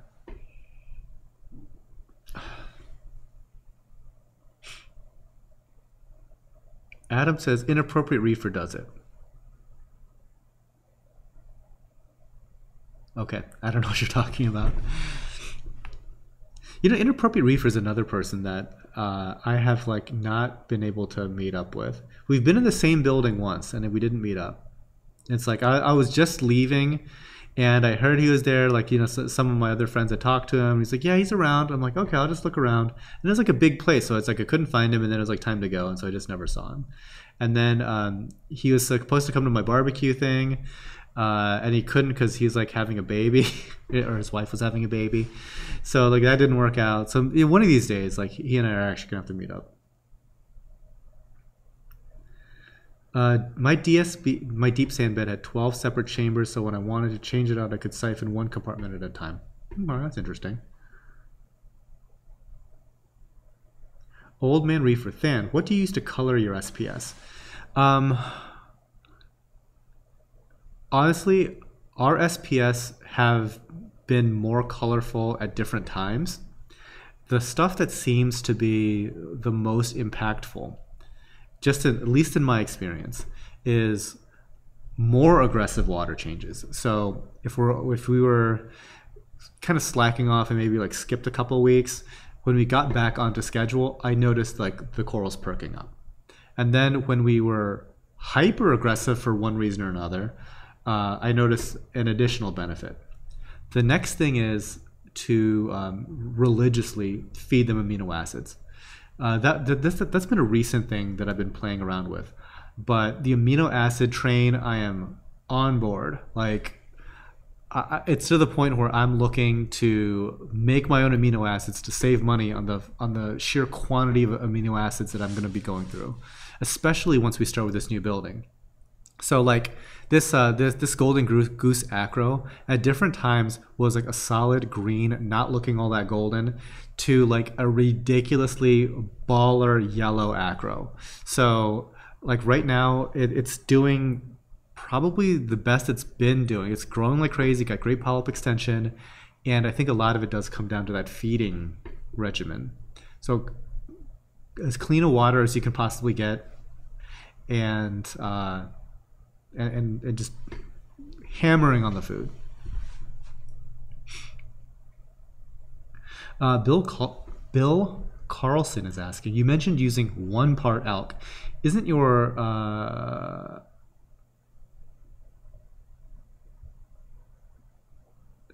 I'm going to guess calcium reactor, providing equal calcium and alkalinity. Why the extra alkalinity? Uh, do you worry about the extra sodium coming in with bicarbonate contributing to ionic imbalance? Okay, so I need to do a video about alkalinity in general because I don't know how well understood it, it is. Um, so, so in layman's terms, the alkalinity of our systems is by far the most volatile parameter. If you looked at a, a, graph of our magnesium and our calcium, it's basically straight line. You might get some dips and bobs in there. It's not a big deal. Our alkalinity is capable of crashing to like nearly nothing. So we're talking about like a healthy level of about 8 DKH down to like 2 DKH and everything in between. Calcium would never do that for us. Magnesium would never do that for us. So the reason why I think that um, you can get that volatility in alkalinity is because alkalinity is not a single compound. It's like a dozen different compounds that are all interchanging with one another. And those things together form this cloud of alkalinity that provides that uh, that stability buffer for your aquarium, the chemical stability. And any number of things can jostle that out of whack. Any number of things can consume one aspect of it and then again cause your readings to go crazy and having that affect your corals in different ways. So the the stability that it provides sometimes undermines its own stability if that makes any sense so that's kind of like why we so there, there's a product out there called an Alkatronic okay and it only tests one thing and it's only trying to test to correct one thing and that's alkalinity and I, i'm thinking that like that product even though it, it, might not have like all the bells and whistles and everything like that, it's got one really big bell and whistle covered. And yeah, it's it, the, the, the, the effort to try to, to stabilize alkalinity, I think it's gonna it's a, it's an ongoing issue for a lot of people. So yeah, long story short, it is because that that is the volatile that that is the whole battle right there. It's alkalinity.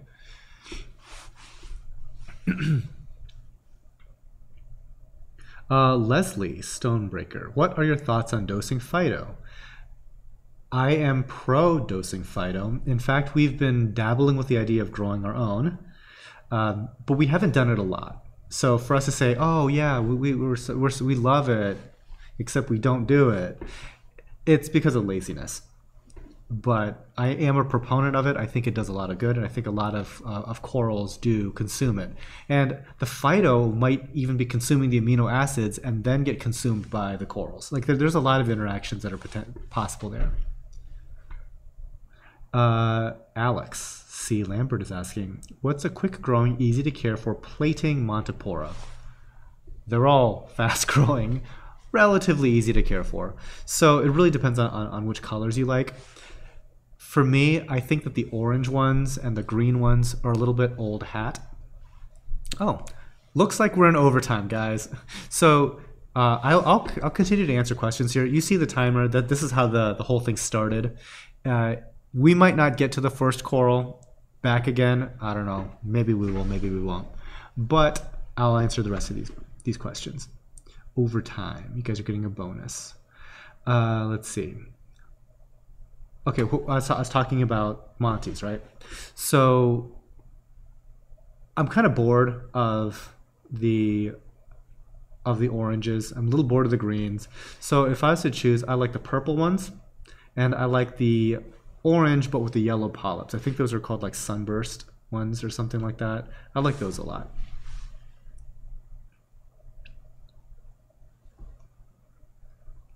Uh, Adam says, I'm ramping up aminos as well. My corals came back from being transparent to nice, nicely colored, feeding Reef-Roids, but still aminos as well. Yep, yep.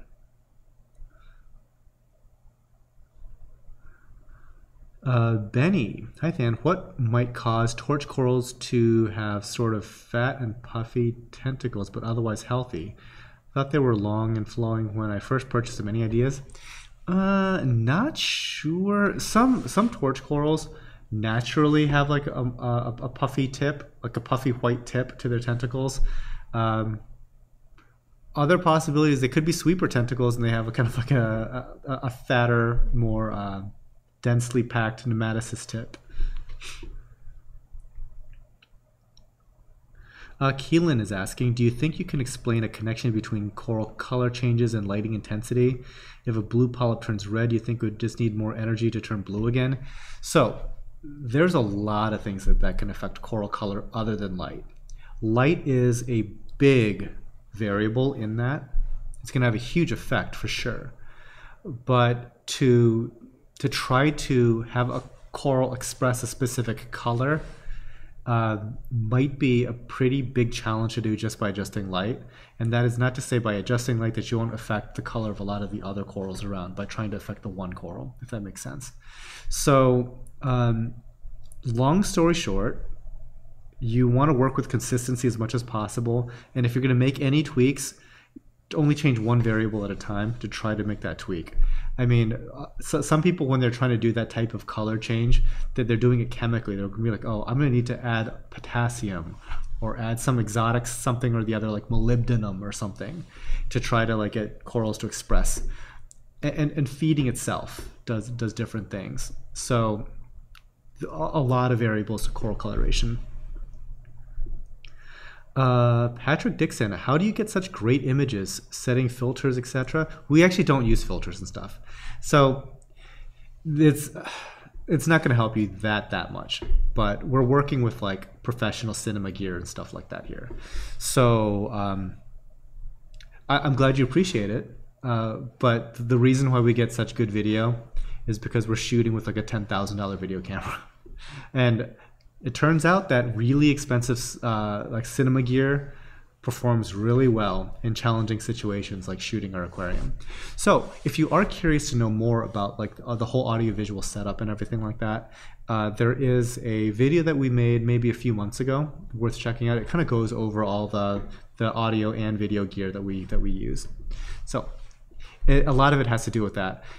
Can you do it on a on a on a lower budget? Maybe. There's cameras are always improving, but you know, they're at, at a certain point, it is just higher end tech. They they make less uh, concessions as to you know how they handle imagery, and they charge people like me a premium for that.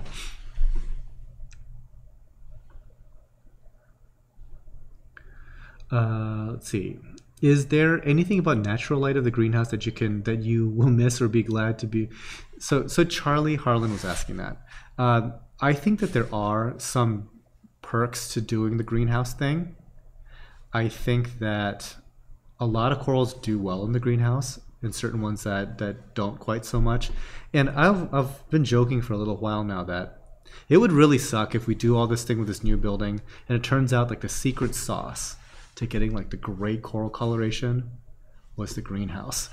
and we've built this state of the art new facility, and it's like, oh, yeah, well, now your corals suck. That would be ironic and tragic. But yeah, it's the, the greenhouse has improved year after year after year.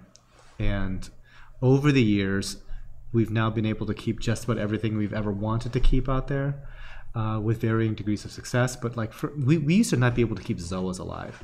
We used to not be able to keep acros alive. So we've come like a, a super long way in that regard. But um, I would like to have more space and to do stuff in a more laboratory controlled setting. And that's what this building is for. Keeping the greenhouse. So I guess what's what's there to miss, right? I still have the greenhouse, but I, I know you meant like aspects of the greenhouse. But yeah.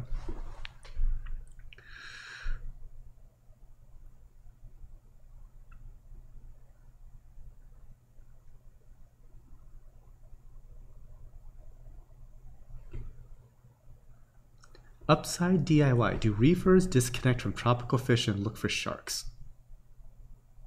Don't really know what you mean, but I like sharks.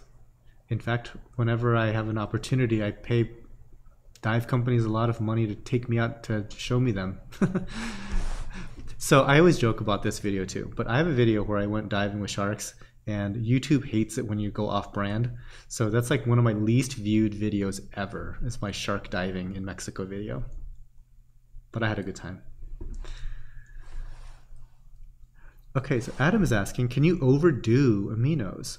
Um, I'm sure you could overdo anything, but uh, I, I know of certain places that go really hard on aminos, much more than we do, and it seems to be okay.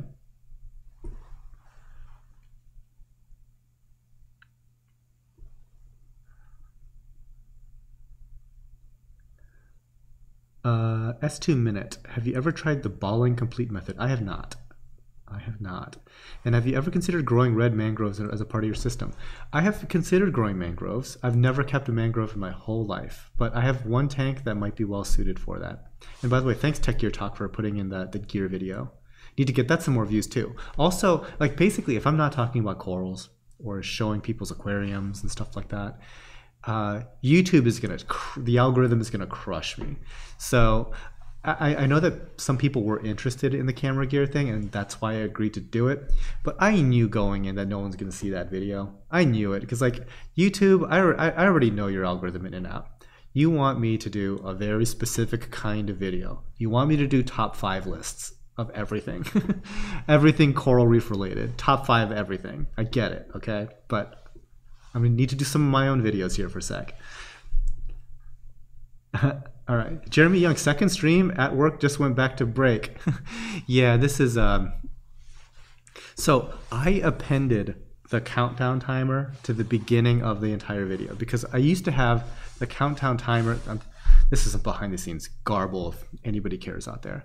I used to have a separate video for just the countdown, and then I would switch over the scene over to my actual coral list. And the reason why um, I stopped doing that is making that transition. Usually, when you change scenes in like a broadcast software, it's no big deal, okay? The problem here is I'm going from a regular scene over to this coral uh, live show thing. That coral live show file is 30 gigs, okay? So whenever I just change scenes, it freaks the hell out. Like my computer says, "Oh, about to catch on fire now," and then I get this huge lag spike. You guys probably see a glitch out on your end. It's like, what's going on? Like the live show broken? It's purely because oh, I just asked the computer just to like, oh, hey, why don't you just load up this 30 gig thing into memory real quick and then broadcast it live? Like, is, is that a big deal? Can we do that like right now? And so yeah, it, it, freaks out. So that's why I've appended this countdown thing to that. So when it does the freak out, it does it when I'm not live yet. and then I hit the live button, then you seamlessly just, you know, see the show start. So anyway, Greg Russo, $2. Thank you for sharing a wealth of knowledge. I, I appreciate you, uh, Gregory. Any and all support I am real cool with. Obviously, not required, but always appreciated. Always appreciated. Uh, King's Coral, $2. Thank you as well.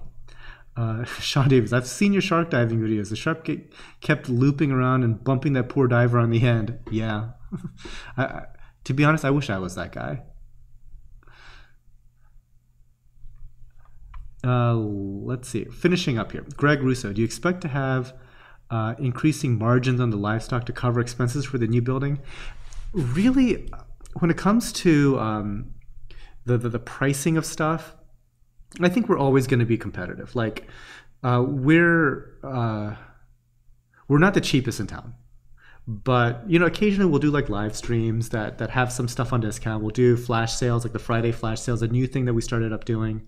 So hopefully, you know, there, there's like pockets where you can you can find some good deals, especially on stuff that we're looking to to uh, to clear out.